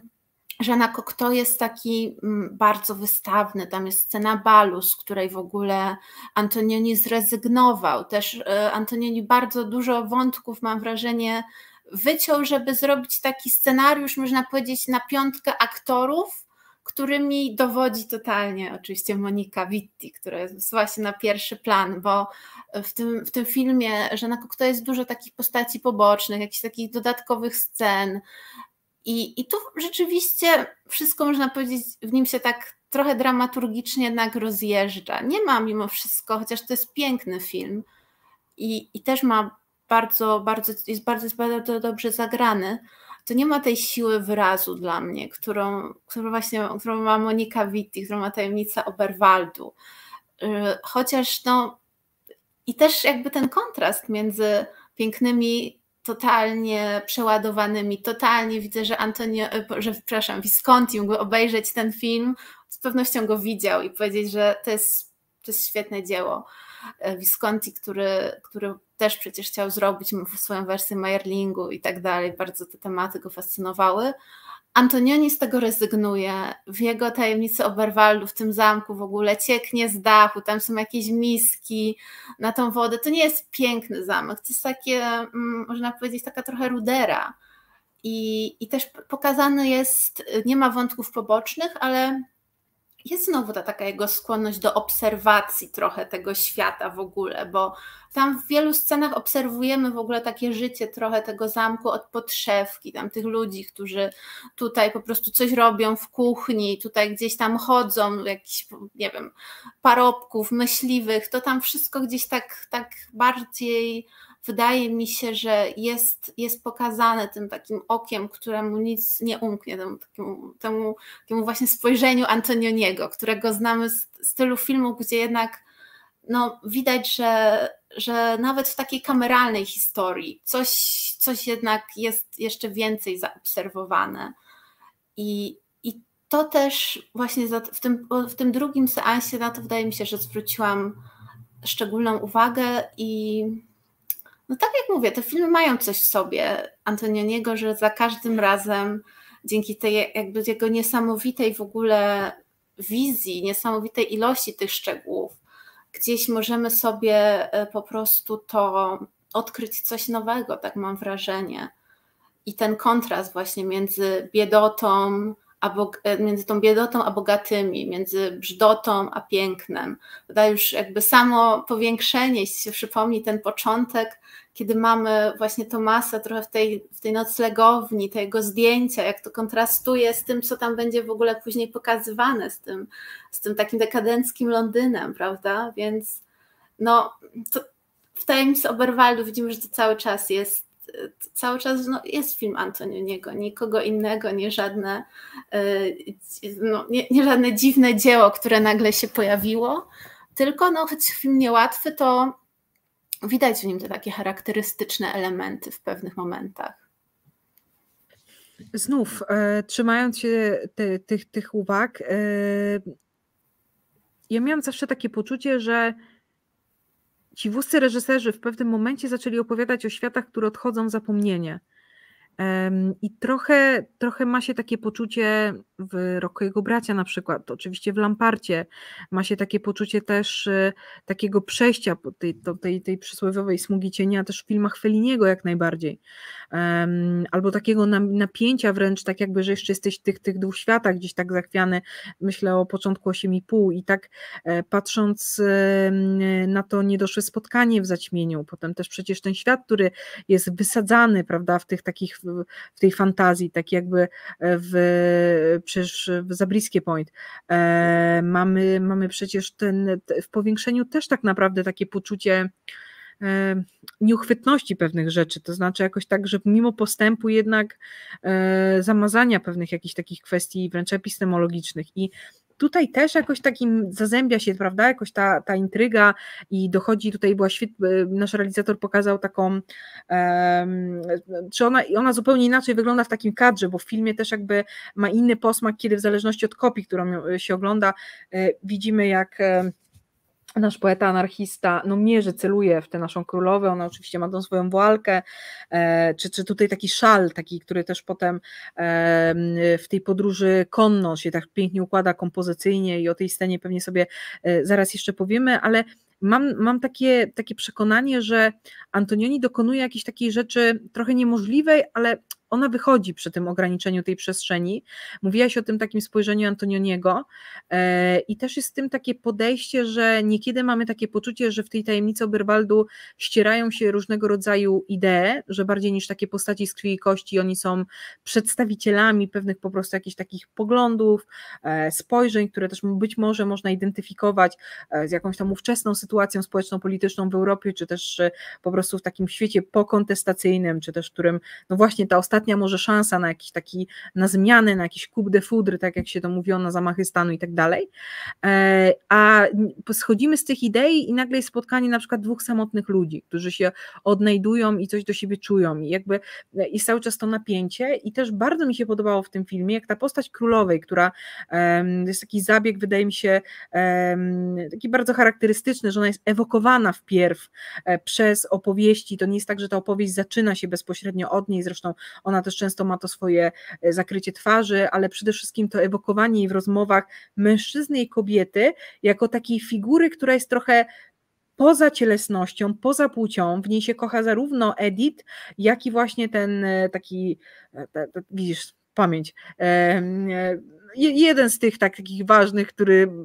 mości sobie tam jakieś swoje, ale rzecz w tym, że oni właściwie we dwójkę się w niej kochają. E, że jest coś takiego w niej, tak jakby, że ona jest blisko i daleko zarazem, że jest tym taka, taka magia, taka dialektyczność po prostu w tej postaci gdzieś tam się krystalizuje, coś takiego i, i właśnie to takie wychodzenie, że od idei, które się spotykają poprzez ludzi, ale na koniec wygrywają te idee, które un, un, przepraszam, unicestwiają się za, e, wspólnie. Tak, to prawda. I też mm, sama, sama sztuka dużo tak samo mówi, prawda, o tych ideach, o, o samotności, o, o tym, że w pewnym momencie oni mówią, że spotykają się jako mężczyzna i kobieta, tak?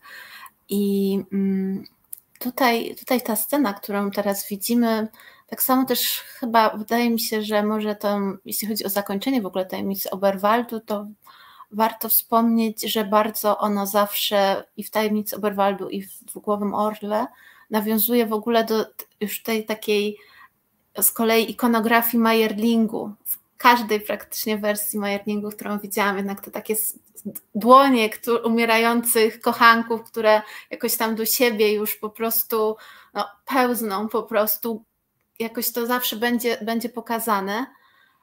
ale y, zdecydowanie, zdecydowanie zgadzam się z tym, że mm, tutaj to wprowadzenie królowej też jest o wiele lepsze niż, niż u Żana Cocteau, gdzie ona jest jakby obecna rzeczywiście w pierwszej scenie już, to nie, ma tej, tak, nie ma tego budowania tajemnicy rzeczywiście, e, tego też e, takiego mm, rzeczywiście czekania na jej obecność, na to objawienie. I w momencie jak ona się pojawia, to e, od razu jakby machina zostaje wprawiona w ruch i ta, y, ten film po prostu ma niesamowitą już potem dynamikę, tak właśnie ta Monika Witti rozsadza po prostu ten ekran od środka, mam wrażenie, i, i swoją królewskością i tą witalnością, to też y, nawet jeśli właśnie tutaj nie, nie, Antonio nie nawiązywał może jakoś bardzo jej fryzurą do tych takich ikonicznych wyobrażeń Sisi, no to jest po prostu piękną, uniwersalną królową z takim mrokiem w sobie, jak mieć powinna e, cesarzowa. I też wydaje mi się, że to taka trochę niejednoznaczność, to jak mm, w ogóle przedstawień cesarzowej Elżbiety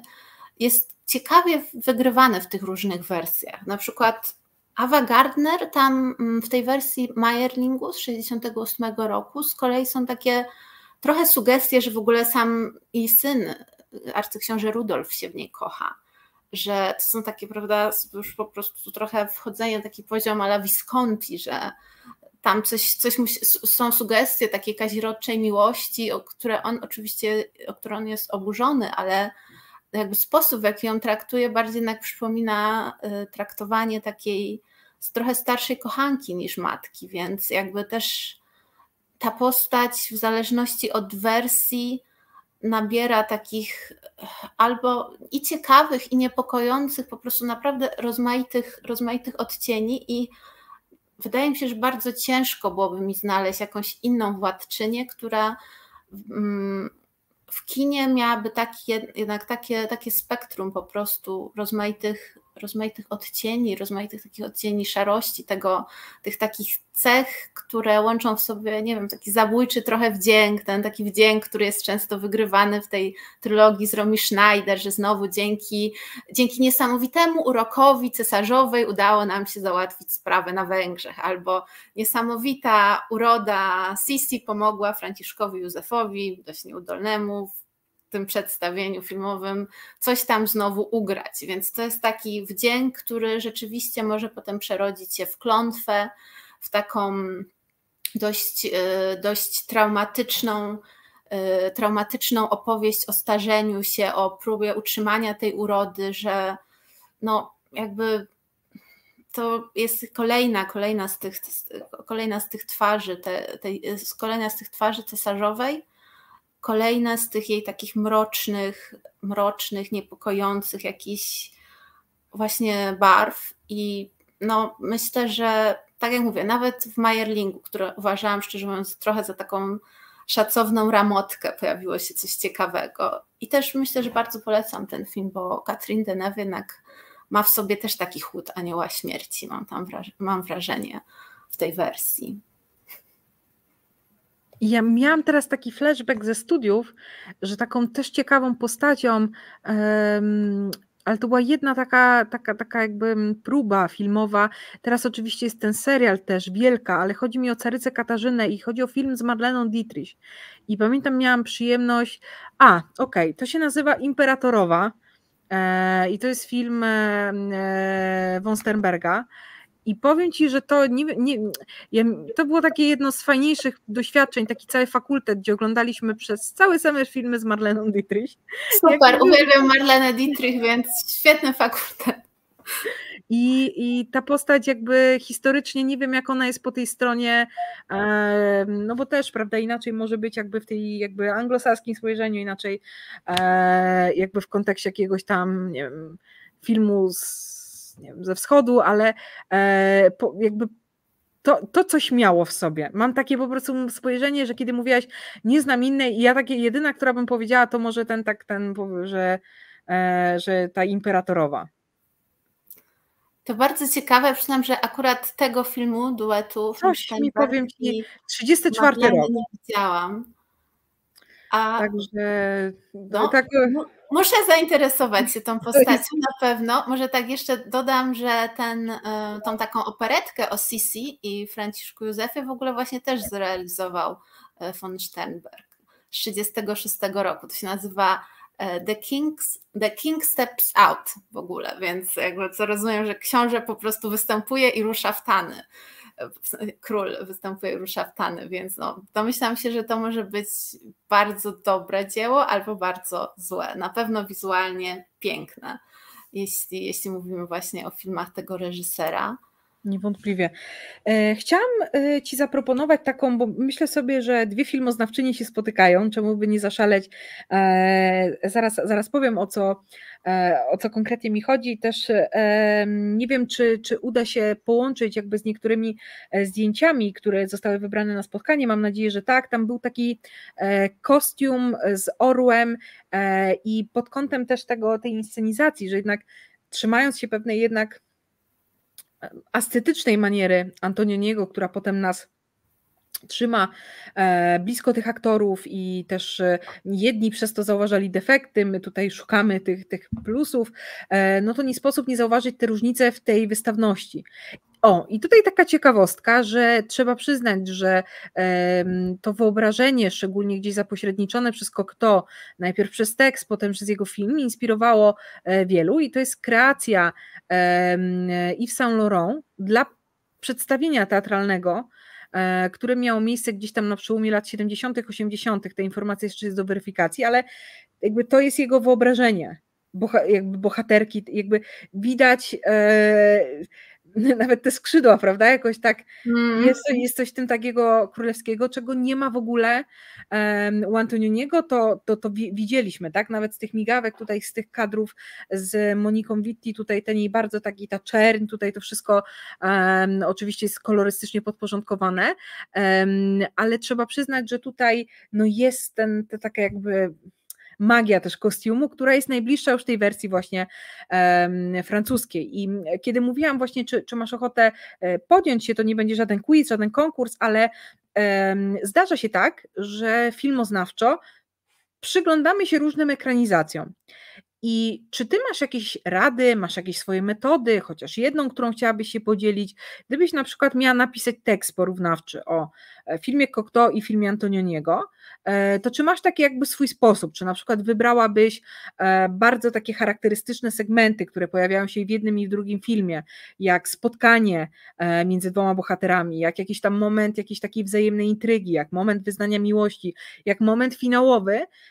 i to byś ze sobą porównywała? Jeśli tak, to w jaki sposób, bo lubisz, patrząc na to, jak piszesz,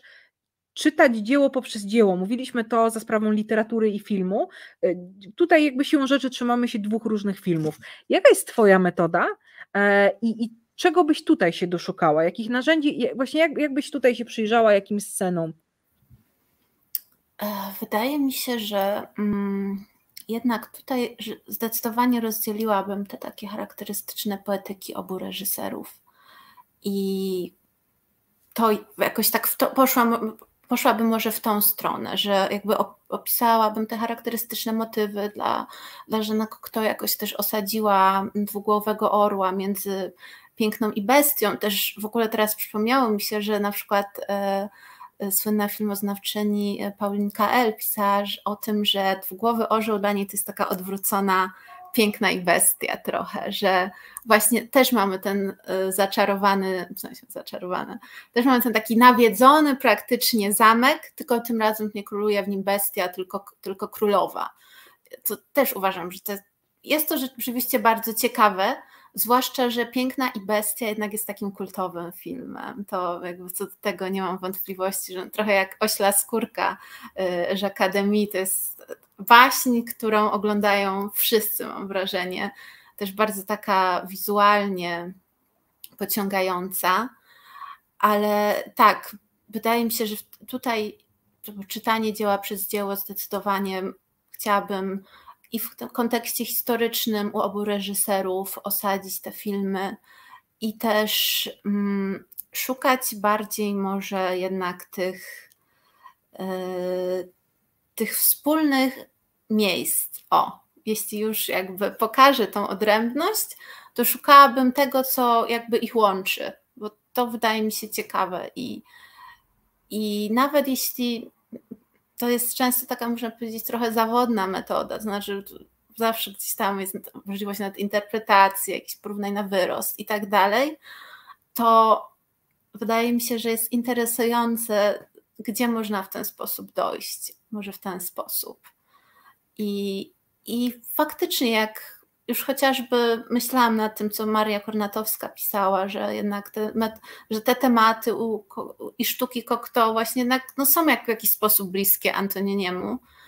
to już samo to dało mi do myślenia, więc rzeczywiście co jeszcze można było znaleźć, gdyby tak wziąć to wszystko pod lupę?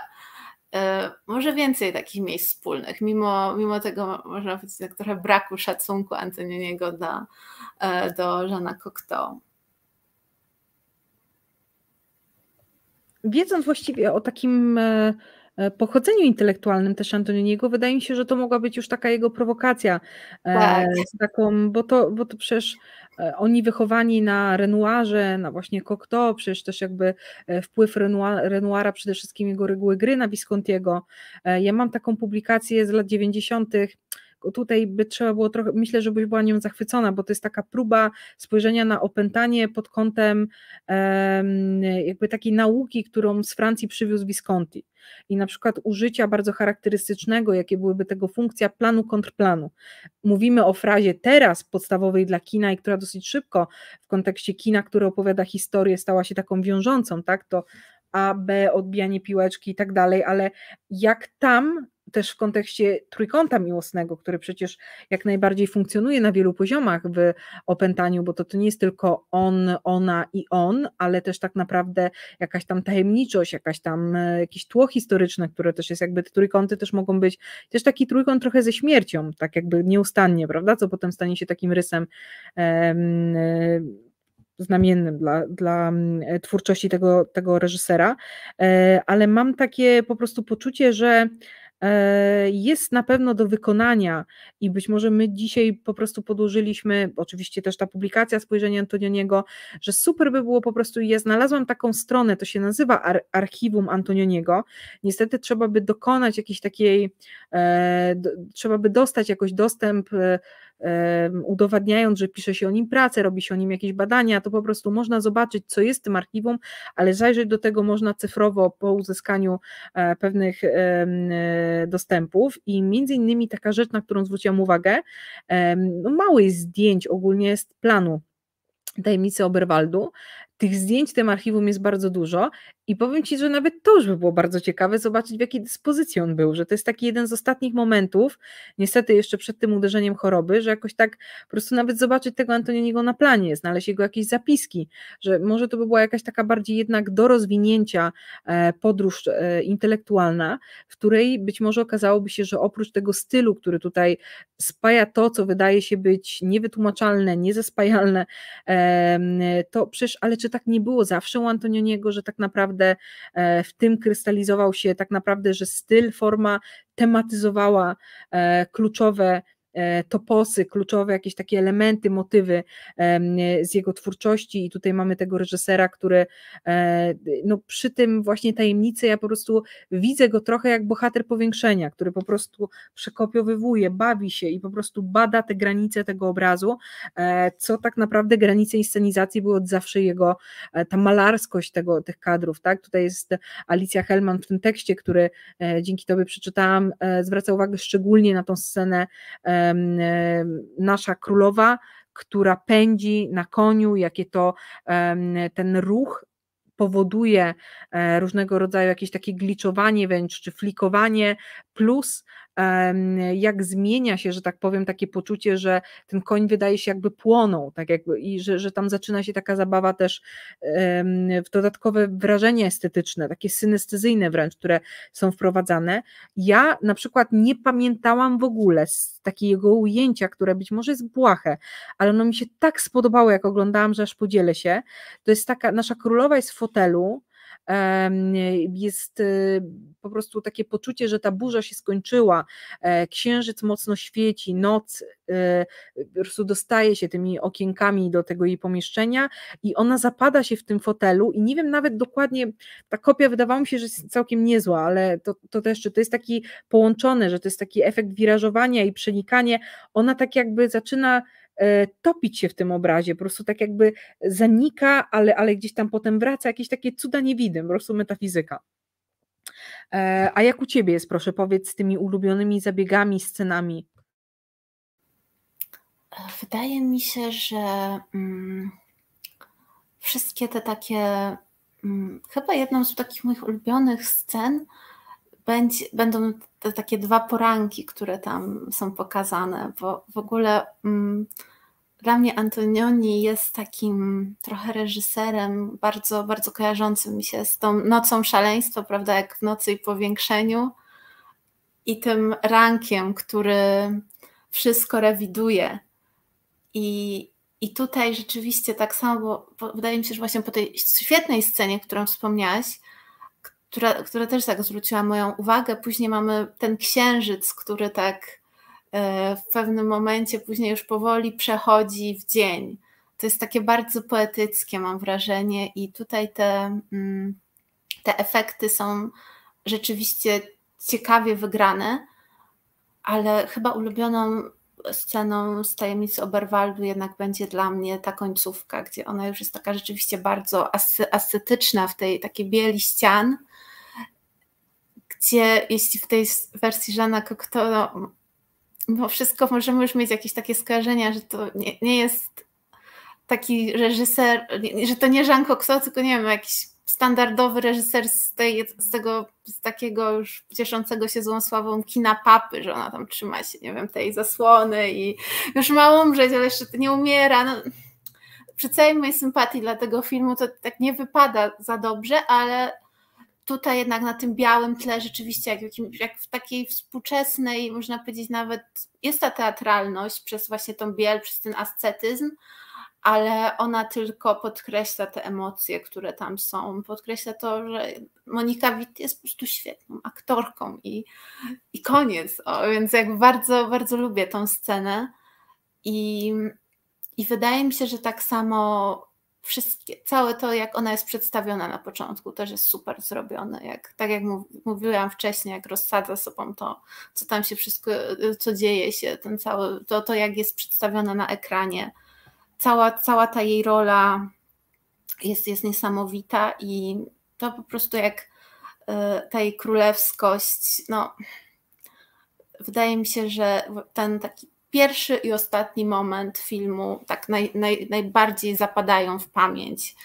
I, I, też ta scena, scena, na, scena na zewnątrz, która też, gdzie też ta natura, to,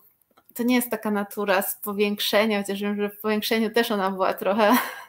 e, trochę tam, prawda, malowanie trawy i tak dalej, ale w mm, tajemnicy Oberwaldu ta natura chociaż taka nacechowana bardzo mocno sztucznością, tą taką, takim jakimś kulturowym spojrzeniem na nią, to też moim zdaniem jest piękna scena pomiędzy królową i tym jej aniołem śmierci, młodym anarchistą, między tymi drzewami. To, to też, też tak zapadło mi w pamięć. No a Sisi na koniu to jest po prostu, nie wiem, nie wiem praktycznie chyba w każdej wersji musi się pojawić na tym koniu, po prostu od tego nie ma ucieczki. E, taki esej wizualny można by zrobić właśnie z takim e, porównaniem e, różnych, różnych wariantów. Chwalimy bardzo mocno Monikę Witti. To jest chyba mało powiedziane, po prostu stawiamy ją zasłużenie,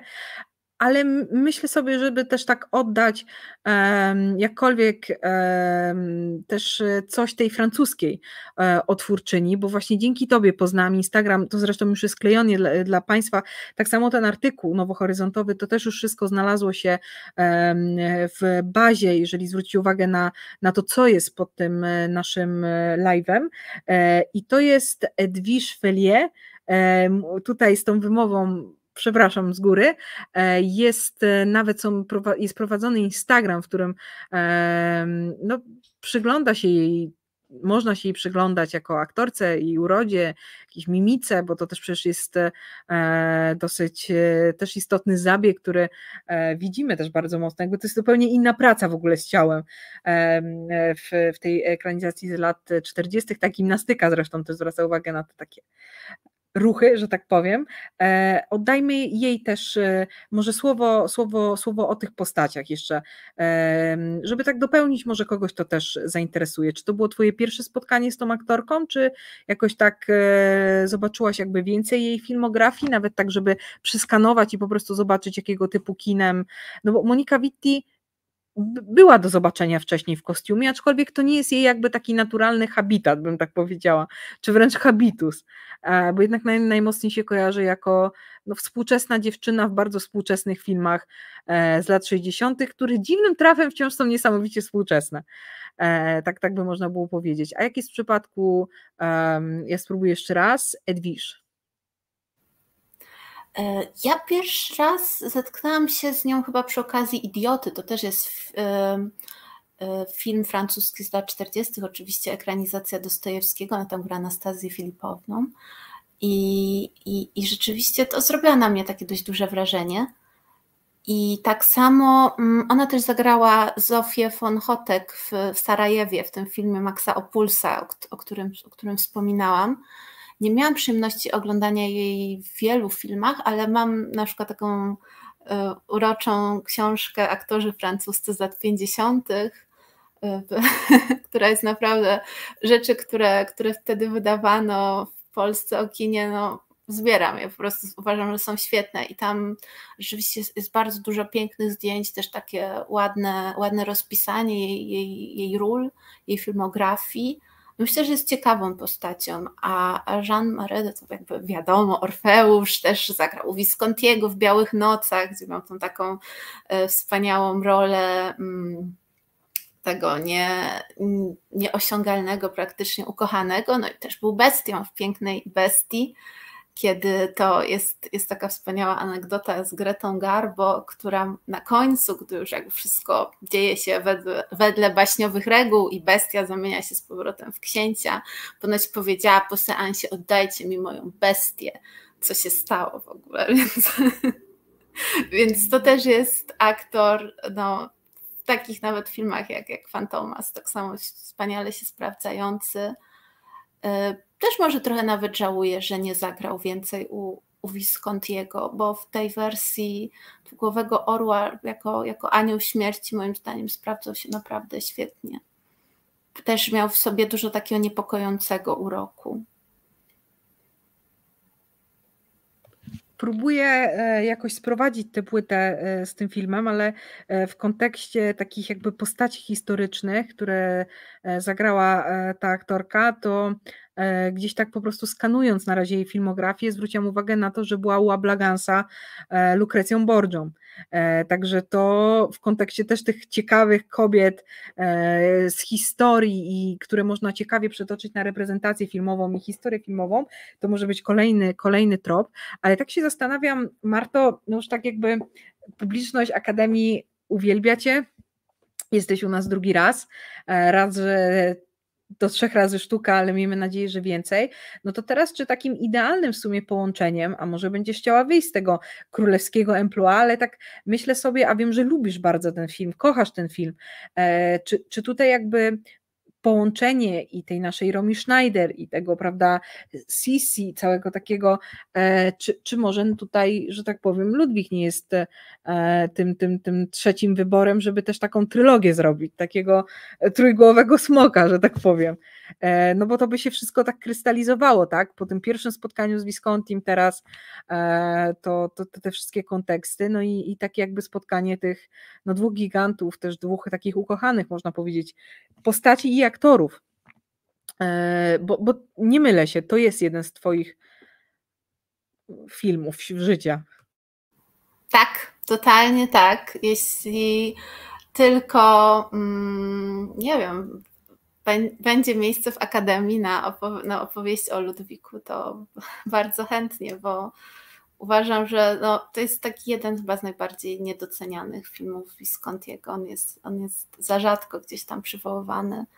mam wrażenie, a jest po prostu piękny i też ilość kontekstów, które rzeczywiście można było przy okazji, e, przy okazji tego filmu przywołać, jest, jest ogromna. Nawet jakby biorąc pod uwagę to, o czym dzisiaj rozmawiałyśmy, tak samo. I, i mm, też ta muzyka, wiem, że Tajemnicy Oberwaldu chyba tak samo pojawił się Wagner, aczkolwiek nie trafiłam oprócz jakichś opracowań nigdzie na taką jakby ścieżkę dźwiękową z tego filmu, więc jakby samo,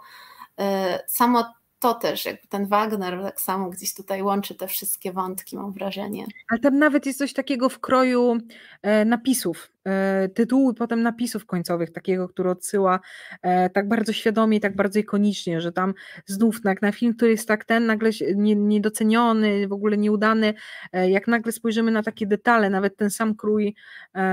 i to pojawianie się tych jakby to wszystko wydaje się być świadomą grą, świadomym nawiązaniem, E, no i właśnie tutaj okazuje się bardzo świadomym zaproszenie, żebyś przyszła do Akademii e, po raz, po raz trzeci. E, powiedz mi, czy teraz takim filmem, na który czekasz,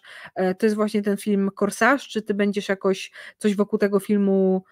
robić, może powinnaś jakąś właśnie prelekcję zrobić, jakoś tak patrząc na twoje zamiłowanie, jakoś wiesz, tak zaopiekować się nim z okazji premiery. E, rzeczywiście bardzo czekam na ten film. E, wydaje mi się też, biorąc pod uwagę taki, mm, zapomniałam tytułu, ale wcześniej ta reżyserka zrobiła taki dość mm, ciekawy, mm, trochę hitchcockowski e, thriller, gdzie, gdzie główna bohaterka ma jakieś takie problemy z siostrą, tam też jest taki temat w ogóle przypadłości psychicznych.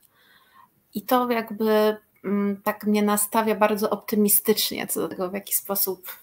w ogóle ta postać, e, postać cesarzowej Elżbiety zostanie pokazana. E, no nie wiem, zobaczymy jak, jak to będzie. Nie znam szczerze mówiąc daty pre polskiej premiery, kiedy, kiedy wyjdzie do kin. Mam nadzieję, że w ogóle będzie w takim kinowym obiegu Korsarz, ale no, myślę, że chętnie coś na pewno na, na, napisałabym lub opowiedziała o tym filmie ale no na pewno jest to jeden z takich, e, no aż dziw, że po prostu oprócz jakichś seriali nie powstało więcej w ostatnimi laty o cesarzowej Elżbiecie. Być może to chodzi o film Ziemia pod nogami. E, to jest ten jej film z 2019 roku, ale widać, że jest ten, o którym mówiłaś o, o siostrach. A jeżeli chodzi o film, to na razie z takich informacji sprawdzonych to jest to, że ma otworzyć festiwal e, Dwa Brzegi. E, także to już jest jakiś tam trop, że jednak na jakieś takie e, szansa na pokazy kinowe jest jak najbardziej, no, że jest duża. Może nawet na regularną dystrybucję. A powiedz, czy ten serial Netflixa E, który właśnie miał być z okazji którejś tam z rocznic. E, to, to, widziałaś to? Czy, bo to jest jakoś 2021 chyba data E, to mi dopiero jakby się niedawno pojawiło i właśnie takie, czyli tak bym nie zdążyła e, patrząc bieżączka, a to co sobie tak jakby jeszcze robimy dodatkowo e, w trakcie akademii, ale że jest jeszcze, jeszcze serial, więc jeżeli Państwo może wiedzą, to napiszcie proszę w komentarzach, teraz też jest czas, jeżeli tylko macie ochotę, chętnie odpowiemy na, na Wasze pytania, rozwiniemy może jakieś wątpliwości, jeżeli macie jakieś pytania do Marty w ogóle związane z jej zainteresowaniami filmoznawczymi, które są rozległe, to niewątpliwie, ale też można zauważyć pewne uwielbienie Marty do pewnego, do pewnych twórców, twórczyń, ale też typu kina, tak jakby jest tak jakby bardzo, mimo różnicy, prawda, jakby e, ktoś by mógł powiedzieć tak na pierwszy rzut oka między, nie wiem, błędnymi e, gwiazdami a, a tajemnicą, to to jest tylko pozór, bo tak naprawdę jak się wgryziemy w te tematy e, kluczowe, gdzieś tam wiążące, e, e, nie wiem, życie szczególnie tych bohaterek, które też są takie uwikłane w swojej identyfikacji, że powtórzę ten, ten, ten tytuł, tak trochę parafrazując, Identyfikacja kobiety, e, film, który Antonioni zrealizował, wracając e, poniekąd do tak tematycznie, ale przez stylistycznie to jest jednak, no też Włochy się zmieniły, to też tak jakby e, trzeba też tutaj Antoniniego myślę, że zrozumieć, że w swoim zamierzeniu, że jakoś tak ciężko, żeby w latach 80. robił te same filmy, które robił, przecież to też była odpowiedź na, na pewną, e, pewnym komentarzem, była sama forma tych filmów, e, ale jest taka, taka czekając na te odpowiedzi, od, na, na pytania od widzów, chciałam się ciebie zapytać, e, mówi się o takiej inklinacji, która się pojawia u Antonioniego pod koniec kariery do erotyki która była, no tutaj ta tajemnica Oberwaldu jest e, no, bardzo, że tak powiem, stroni od takiego od takiej bezpośredniości, od takiej cielesności, właśnie to, to, to jest gdzieś przykryte, to jest gdzieś tam ubrane w, tych, w, tych, tych, w tej czarnej sukni, to jest gdzieś ewokowane przez jakiś tam e, dotyk dłoni i tak dalej, i tak dalej, ale e, takie mini rzeczy, ale potem mamy identyfikację kobiety i później już po chorobie to jest taki projekt, który się nazywa, włoski tytuł to jest Al di là delle nuvole i to właśnie widziałam na Zone Europa e, swojego czasu i tak jakby taki nacisk na e, nie wiem, no tak, tak jakby czyżby potem ostatecznie prawda i piękno kryło się w zbliżeniu dwóch ciał, jakby nagle bo trochę taka prawda, że, że, że, w tym zapotrzebowaniu na to drugie ciało, takim dosłownie, bardzo dosłownym zbliżeniu kryłoby się może jakiś ratunek. I ma na przykład Marco Bellocchio też doszedł do, do bardzo podobnych wniosków, e, kiedy zestawimy na przykład jego film e, Pięści w kieszeni, z Lukastelem, z takim filmem, który jest kontynuacją Pięści w kieszeni, o którym za mało się mówi, e, Oczy i usta. E, tam jest między innymi Mona Molina, jest też oczywiście takie nawiązanie w takich retrospekcjach do tego filmu. I tam jest właśnie takie poczucie, że, że, że po prostu w tym uścisku z drugim człowiekiem, że w tej bliskości jest jakaś jedyna prawda i spotkanie i może jest szansa na to, że nie będzie żadnych masek. Czy Antonioni też coś takiego idzie? Jak czujesz?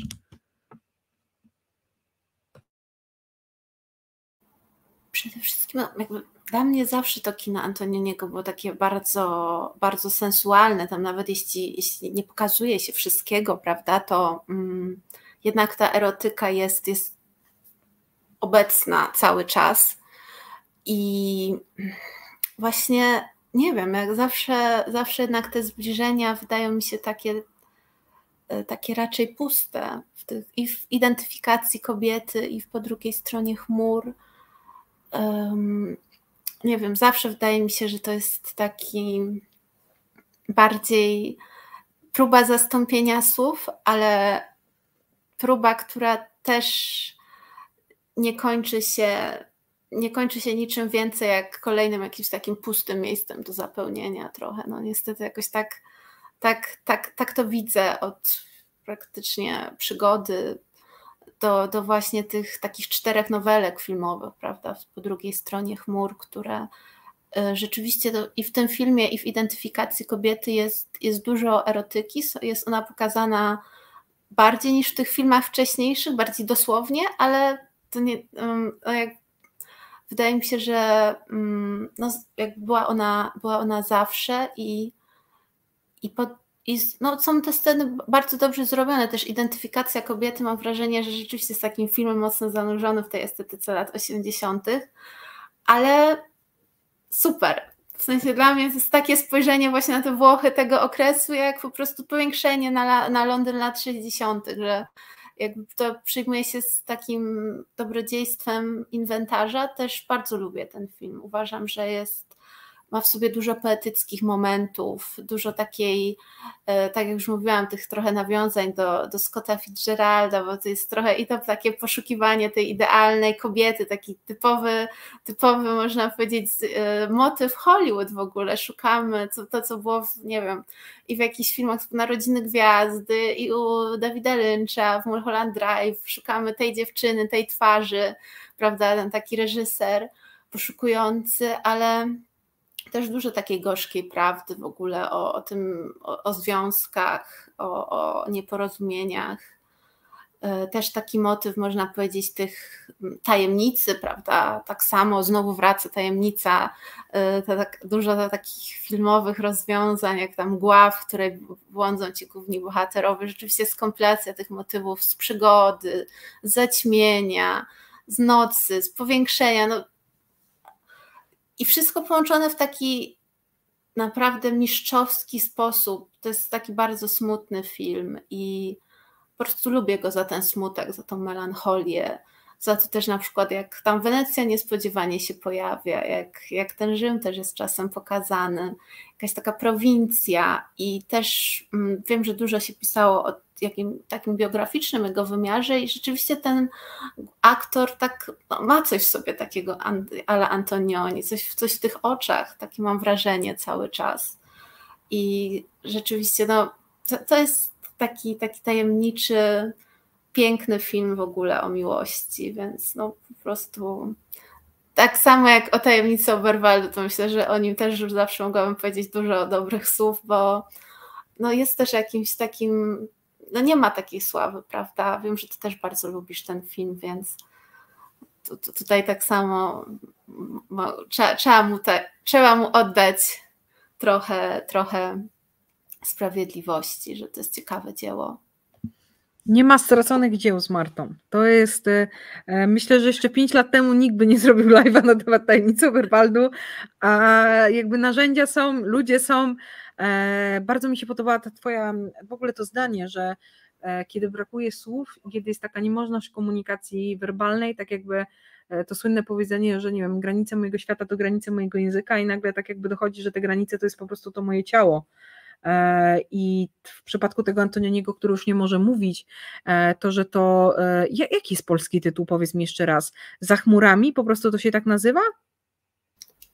Ten z lat 90. Wydaje mi się, że po drugiej stronie chmur. Po drugiej stronie chmur. że się pomyliłam. Nie, nie, nie, nie, na pewno masz rację. Współreżyserowany zresztą z taką E, no, że tak powiem, pomocną dłonią e, Wima Wendersa, e, to jak ktoś jest takim fanem, że tak powiem, szukania po prostu do samego końca filmów, to tak naprawdę jeszcze w takim projekcie nowelowym Eros, tam między innymi jest Soderbergh, jest Wong Kar Wai, jest też taki jakby krótki, czy krótki, jest nowela, jest rozdział też Antonioniego, też ten wątek erotyczny jest tam oczywiście tak. bardzo mocno wyeksponowany, chyba nawet może i mocniej, ale to jest ciekawe, że e, ten film Al di là delle nuvole e, po drugiej stronie chmur jest inspirowany bardzo mocno tekstami Antonioniego. To się e, nazywa po włosku Quill Bowling sul Tevere, to są teksty wydane w 80, 1983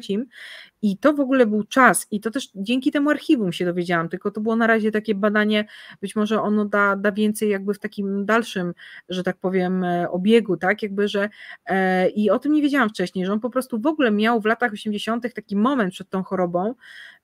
no to też symbolicznie, prawda, to takie wydarzenia kluczowe jak choroba, jak śmierć, tak w przypadku Pazoliniego, one inaczej ustawiają ten montaż osoby, że hmm, może to było jakieś znaczenie i tak dalej, że on szuki, szukał różnych form, czy też po prostu po powrocie ze Stanów e, wyrażania siebie. Kiedy jeszcze było wszystko ok, choć oczywiście musimy tutaj popatrzeć, że Antonioni e, też on był takim, jeżeli chodzi o ten jego największy sukces, takim pójnym debiutantem, kiedy spojrzymy na przygodę, e, bo jak wcześniej słusznie powiedziałaś, on tych filmów typu Przesiłki, e, czy właśnie Kronika pewnej miłości, czy Krzyk, nie uznawał za swoje najwyższe e, dzieła i to jest jakby wiedza powszechna, e, więc te sukcesy największe przyszły, kiedy on już był dojrzałym mężczyzną, więc policzmy sobie, prawda, e, w, w, latach, jak to wyglądało na przełomie lat 80. i 90., ale to, co jest ciekawe, że właśnie i pisał, i malował, część tych prac pokazane w Wenecji w 1983. E, I super by było po prostu położyć, że tak powiem, oczy i ręce na tych, zwrócić na to uwagę, tak? I, i że właściwie tajemnica Oberwaldu staje się być może takim ciekawym uzupełnieniem takiej większej platformy szukania siebie jako artysty na nowo w tej nowej rzeczywistości po tych dekadach, że to być może jest taki szerszy projekt, na który może dotychczas patrzono tylko przez ten wycinek na zasadzie tego, a no tak, odbiło mu staroświecka opowieść. Może to jest, jak mówię, tu stawiam bardzo dużo znaków zapytania, ale czy to nie popycha potem tej dyskusji do przodu, prawda? Stawianie takich e, hipotez, że to po prostu był taki moment, który potem jeszcze w obliczu tego odebrania mu słowa i szukania innych rozwiązań, jeszcze ta identyfikacja kobiety z tym twórcą w kryzysie, to się w ogóle by łączyło. Ja nie wiedziałam nic, dopiero się dowiedziałam przy tym spotkaniu, że istniał taki cykl e, zaczarowane e, góry, zaczarowane wzgórza, tak by można było to przetłumaczyć, które no nie sposób, kiedy człowiek sobie to nawet czyta po włosku, Montanie Incantate, tego nie skojarzyć z Tomaszem Manem i po prostu zaczarowaną górą. E, I to się z tego robi po prostu, wiesz, metafi- to się z tego robi Kongo i kosmos i trafiliśmy mm -hmm. do mhm. punktu wyjścia, więc ja myślę, że musimy, musimy, musimy, dalej e, to ciągnąć, Marta, po prostu i trzeba teraz trzecie spotkanie i, i kolejne. E...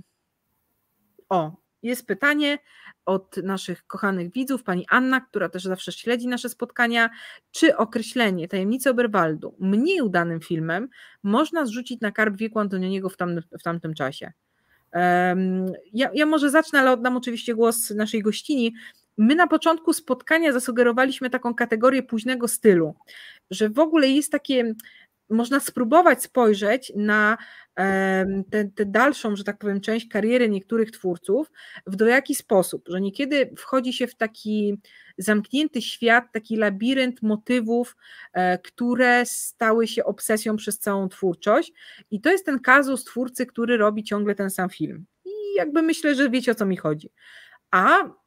wciąż można tkwić w tym labiryncie różnych rzeczy, można z niego wyjść, można też, Marco Bellocchio wydaje mi się świetnym przykładem teraz twórcy, który w wieku, w którym jest, robi dokument, w wieku, w którym jest, robi świetny film o mafii, gdzie nigdy jakby nie był tak na Sycylii, zrobił jeden z piękniejszych, bardziej przekonujących filmów o mafii, mam na myśli film Il Traditore, czyli Zdrajca. I to jest ciekawe, że po prostu wychodzą z takiej e, strefy bezpieczeństwa, że tak to określę, i proponują też rzeczy, które może ktoś by połączył w ogóle z jakąś energią, że debiutancką. Jerzy Skolimowskim jest, y, moim zdaniem on jest po prostu, świetnie się wpisuje w ten właśnie taką kategorię takiego kogoś, to może wszystko i że na koniec kariery on ma tą energię, jaką by miał debiutant, bo tak próbuje, nie musi, 11 minut, teraz to i o też wydaje mi się, że świetnie będzie, że to jest po prostu coś, co wciąż jest o nim, wciąż wyrasta z jego tożsamości artystycznej, ale tak naprawdę, kiedy już nic nie musisz, to wtedy zaczyna się zabawa, wtedy możesz szaleć. I że to widać po prostu, i że być może Antonioni tak naprawdę, że tajemnica Oberwaldo jest tego wyrazem, że on już nic nie musiał. Ale to jest tylko intuicja pewna. Y, Marto, daj ci głos. E, wydaje mi się, że też jakby ciekawe jest zestawić właśnie te dwa filmy, Tajemnice Oberwaldu i Identyfikację kobiety. Tajemnice Oberwaldu jako takie mm, jakby próba stworzenia jednak czegoś nowego, próba jakby wykorzystania tej nowej technologii i później jego film, no jednak nie wiem, późniejszy o rok, dwa lata, jakoś, jakoś tak, gdzie, który z kolei stanowi podsumowanie wielu motywów jego twórczości i i, jest też jakby zupełnie, spojrzenie z kolei na lata 80. I tutaj jakby można sobie samemu odpowiedzieć, czy jak, jak, jak jego wiek mógł wpłynąć na tą twórczość i, i czy jednak nie, nie, nie był cały czas takim bardzo, tak jak już wspomniałaś, poszukującym twórcą. Też bardzo podobało mi się w twoim, właśnie w Twoim spotkaniu i pani, pani doktor Osmowskiej-Mentrak, że e, ona mówiła tak samo, że bardzo go ceni za to, że cały czas poszukiwał, prawda? cały czas chciał, e, chciał robić coś nowego, cały czas miał tą energię i, i wydaje mi się, że tak, te, te filmy powinny być na jakimś double feature po prostu puszczane. Późny Antonioni, zapraszamy tajemnica Ale to jest ciekawe, że e, Mo, Monika Witti, o której tyle przecież powiedzieliśmy słów, to też była artystka poszukująca i teraz e, trzeba było może znów tego połączenia ich e, w tym ich nie wiem, też może ucieczce od pewnych trendów włoskiego kina, bo tak naprawdę można by spojrzeć w detalu od, ogółu, od szczegółu do ogółu tym razem i zobaczyć w ogóle, jak naprawdę zadziwiającym jest ten projekt, w kontekście w ogóle e, ówczesnej włoskiej produkcji. No, mówiliśmy trochę o tym Rossellinim, że on też na przykład zadziwił wszystkim, kiedy pod koniec życia zamknął się w telewizji i robił tam bardzo takie ascetyczne, takie też ktoś by, mam, mam przekonanie, że gdybyśmy komuś puścili, ktoś to, to by powiedział, co to za nudy, a to jest fascynujące, to są jakieś takie trzygodzinne niekiedy po prostu analizy, właśnie takie jakby w dialogach władzy, e, tu jest Pascal, tutaj jest e, Ludwik, jest po prostu Kartezjusz chyba był też z tego, z tego cyklu, po prostu rzeczy naprawdę bardzo ciekawe, ale też takie jakby trochę na kontrze może do tego pośpiechu, od którego oni ciągle gdzieś tam uciekali, prawda, patrząc na ich spojrzenie na tą w ogóle sytuację odbudowy Włoch, która poszła w takim rytmie, do którego początkowo nikt nie mógł nadążyć, potem on zwolnił i że to było takie zupełnie, zupełnie osobne, ale też właśnie, że trzeba było tych dwóch jakby jej i jego. I też nie wiem, czy to, to, to może mieć jakąś wartość, ale jest coś takiego ciekawego w twórcach, którzy wracają do ojczyzny po jakimś czasie e, właśnie niebytu w ojczyźnie, to znaczy może bytu artystycznego bardzo wysokiego, myślę też o Bertolucci, że ten powrót pozwala im też jakby spojrzeć z pewnym dystansem i być może e, ten kostium też służy i tu bym wróciła do tej, tej pierwszej takiej interpretacji podjętej przez nas, że może tam są pewne tropy też podsumowania całej dekady ołowiu e, z tym zamachem, e, z, tym, z tą całą taką jakby grom też tak naprawdę, podsłuchami, jakby w sumie nie wiadomo, to, to jest tak naprawdę niektóre rzeczy wciąż nie są wyjaśnione w tej tajemnicy, e, tak. bo de facto tam jest otwarte, że wciąż jest tak naprawdę, że, że skąd on wiedział, że ona jest tym, za, jakby tam jakby jeszcze się wczytać jeszcze bardziej, to tam wychodzi, że e, można się pobawić właśnie kto tutaj jak, tak jakby trochę z tego szachy się robią, e, też tak królewsko mówiąc. I mam takie poczucie, że może tam jest po prostu takie ubranie tego w takiej stylistyce retro, e, jak to robił, nie wiem, Pasolini, tak jak to zrobił Fellini w Satyrykonie, że po prostu ubierasz to w takie pewne szaty, bardzo modna sprawa w latach 70. E, nie Decameron, tak, przecież te wszystkie podróże też ostatnio mieliśmy to na Akademii, stąd może tak na świeżo takie połączenie. I opowiadasz o sprawach jednak bieżących, że tak powiem, bo ten świat, tak jak dokładnie powiedziałaś, to jest takie królestwo, które raczej, no ono potrzebuje takiego gdzieś tam zastrzyku energii. I pojawia się to okno, pojawia się ta wolność, pojawia się ta natura, tak, jakiś taki zryw mocy, ale niestety to jest skazane po prostu na, no, na, na swoją historię, jakby na, na dalszy y, koniec, że tak powiem, e, czegoś, co było jakby zapisane w gwiazdach, tych błędnych gwiazdach, które tutaj nam się e, kumulują i, i rozpisują. I jest, jest, jest to no, niebywałe, jak to wszystko się, się łączy, naprawdę. E, pan Grzegorz, który y, moja mama się pytała o Tinto Brasa, niesamowite, co za połączenia. Pan Grzegorz, dziękujemy, że jest cały czas z nami. E, jest e, e, też przykład takiego twórcy, który można powiedzieć, że miał jakąś taką, z tego co rozumiem, z tego porównania, jakąś taką też energię w tej drugiej połowie twórczości, bo trochę tak mówiliśmy w kontekście tego, tego, tego, tego późnego stylu. Czy mam jeszcze jakieś pytania, powiedzcie, do Marty szczególnie? Ja mam pytanie do Ciebie, Diano, ale nie wiem, boję, boję się, boję się. Ja chciałam się zapytać, czy, mm, bo też jakby zetknęłam się z różnymi informacjami o takiej twórczości, może być trochę komercyjno-telewizyjnej Antonioniego w latach 80., że on też kręcił jakieś reklamy, teledyski, nie wiem, czy może, może kojarzysz e, coś w tym temacie, bo ja przyznam, że znaczy, jeszcze. To, to, jest, to jest fakt, że i to świetnie Fellini e, potem obśmiał w e, Ginger i Fred z takim jakby, e, że już każdy właściwie mieszał się w ten świat reklam, ich było bardzo dużo i tak dalej, i tak dalej. I jego akurat nie kojarzę, ale kojarzę jakby na przykład reklamy Felliniego, czy reklamy Gillo, tak. Gillo Pontecorvo, czyli przecież reżysera Bitwy o Algier, też takie połączenie i to jest taki moment, kiedy taki format, on się nazywał e, Carosello, dogorywa w latach 70. i trochę też telewizja Rai. To były takie reklamy, które były bardzo e, w ogóle ciekawie skonstruowane. One miały w pierwszym takim jakby swoim wymiarze tak minutę 30 musiały opowiadać jakąś historię na początku, nie mogły bezpośrednio w niej zdradzać tak jeden do jednego, co będzie chodziło e, z tym produktem, który e, będzie potem sprzedawany, a potem miały taki czas 10-15 sekund, który atakował tym produktem. Jakieś takie, jeżeli wpiszecie Państwo karozello w YouTubie, to wyjdzie Wam ten szałpał po prostu jakby różnych informacji, jakby ich tych reklam jest, jest mnóstwo. I akurat Antonioniego nie kojarzę, już prędzej po prostu kojarzę reklamę, w której Ninetto Davoli rodem z Pazoliniego sprzedaje krakersy. Znam taką reklamę, ale co robił Antonioni po powrocie, to to jest ciekawe do zbadania, bo może być też tak, że właśnie kiedy otworzyły się te wszystkie, czy otwierały się te konkurencyjne też telewizje, to metodą RAI na to, żeby też jakby uderzyć w ciekawy sposób w ten świat konsumencki, to były właśnie jakieś takie próby łączenia ich z nazwiskami. Stąd na przykład te słynne reklamy Barilli, Federica Felliniego, ale to jest temat do zbadania. To jest w ogóle fascynujące, szczególnie właśnie ten, ten, te 20 lat tych takich dziwnych reklam, bardzo filmowych reklam, to jest w ogóle E, no naprawdę jakby one bardzo często były animowane. E, te postaci niekiedy w ogóle wyszły z, tych, z tego świata animowanego, z reklamy i stały się potem takimi pełnowartościowymi bohaterami różnych seriali animowanych. Na pewno wszyscy kojarzą takiego bohatera, nazywa się Złośniczek. To jest taki bohater rysowany, który ciągle nie ma dalszej części, to znaczy tam taka ręka się pojawia, jest taki meta, met, autotematyczny poziom, kojarzysz to i w, w plusie kiedyś za moich czasów tak. Takiego było, no to on był, on, on rodzi się z tych reklam, na początku reklamy garnków,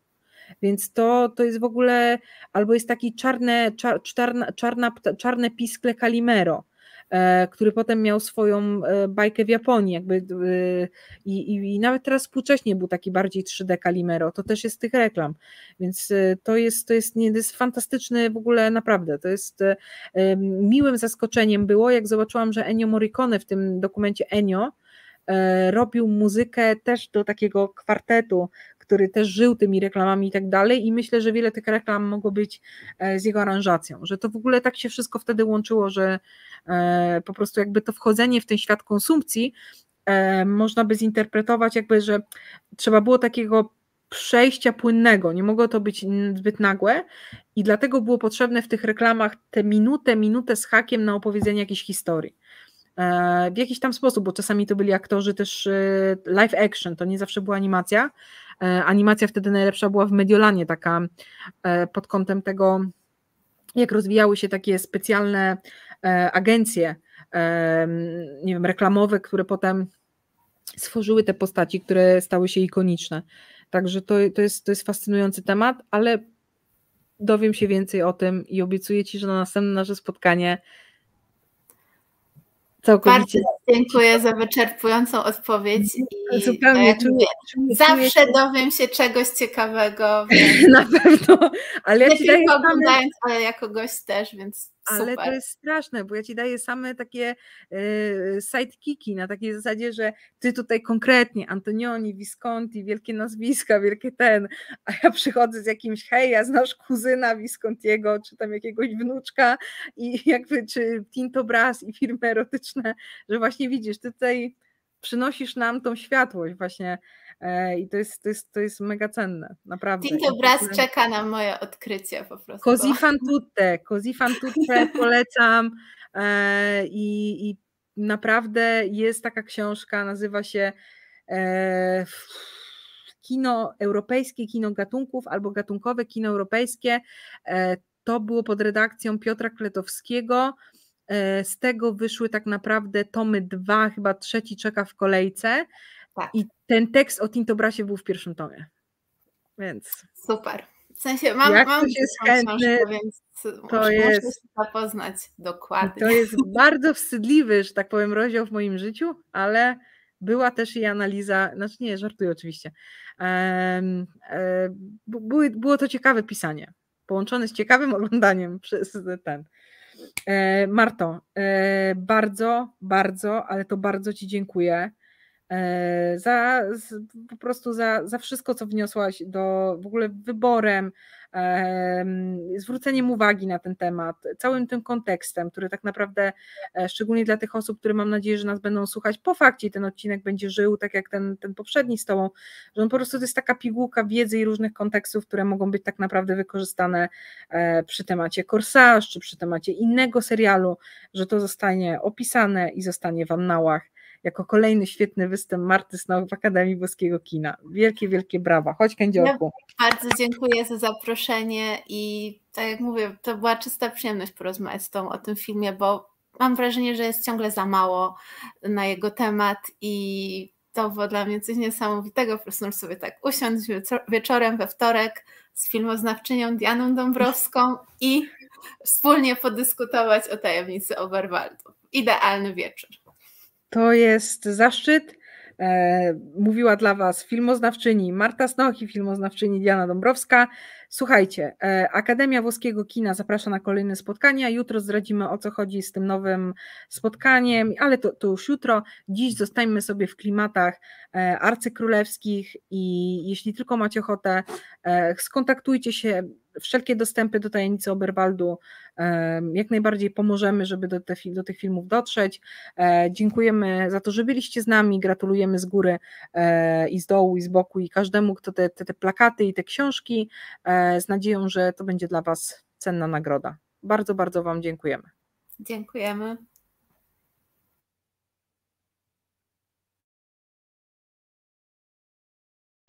You.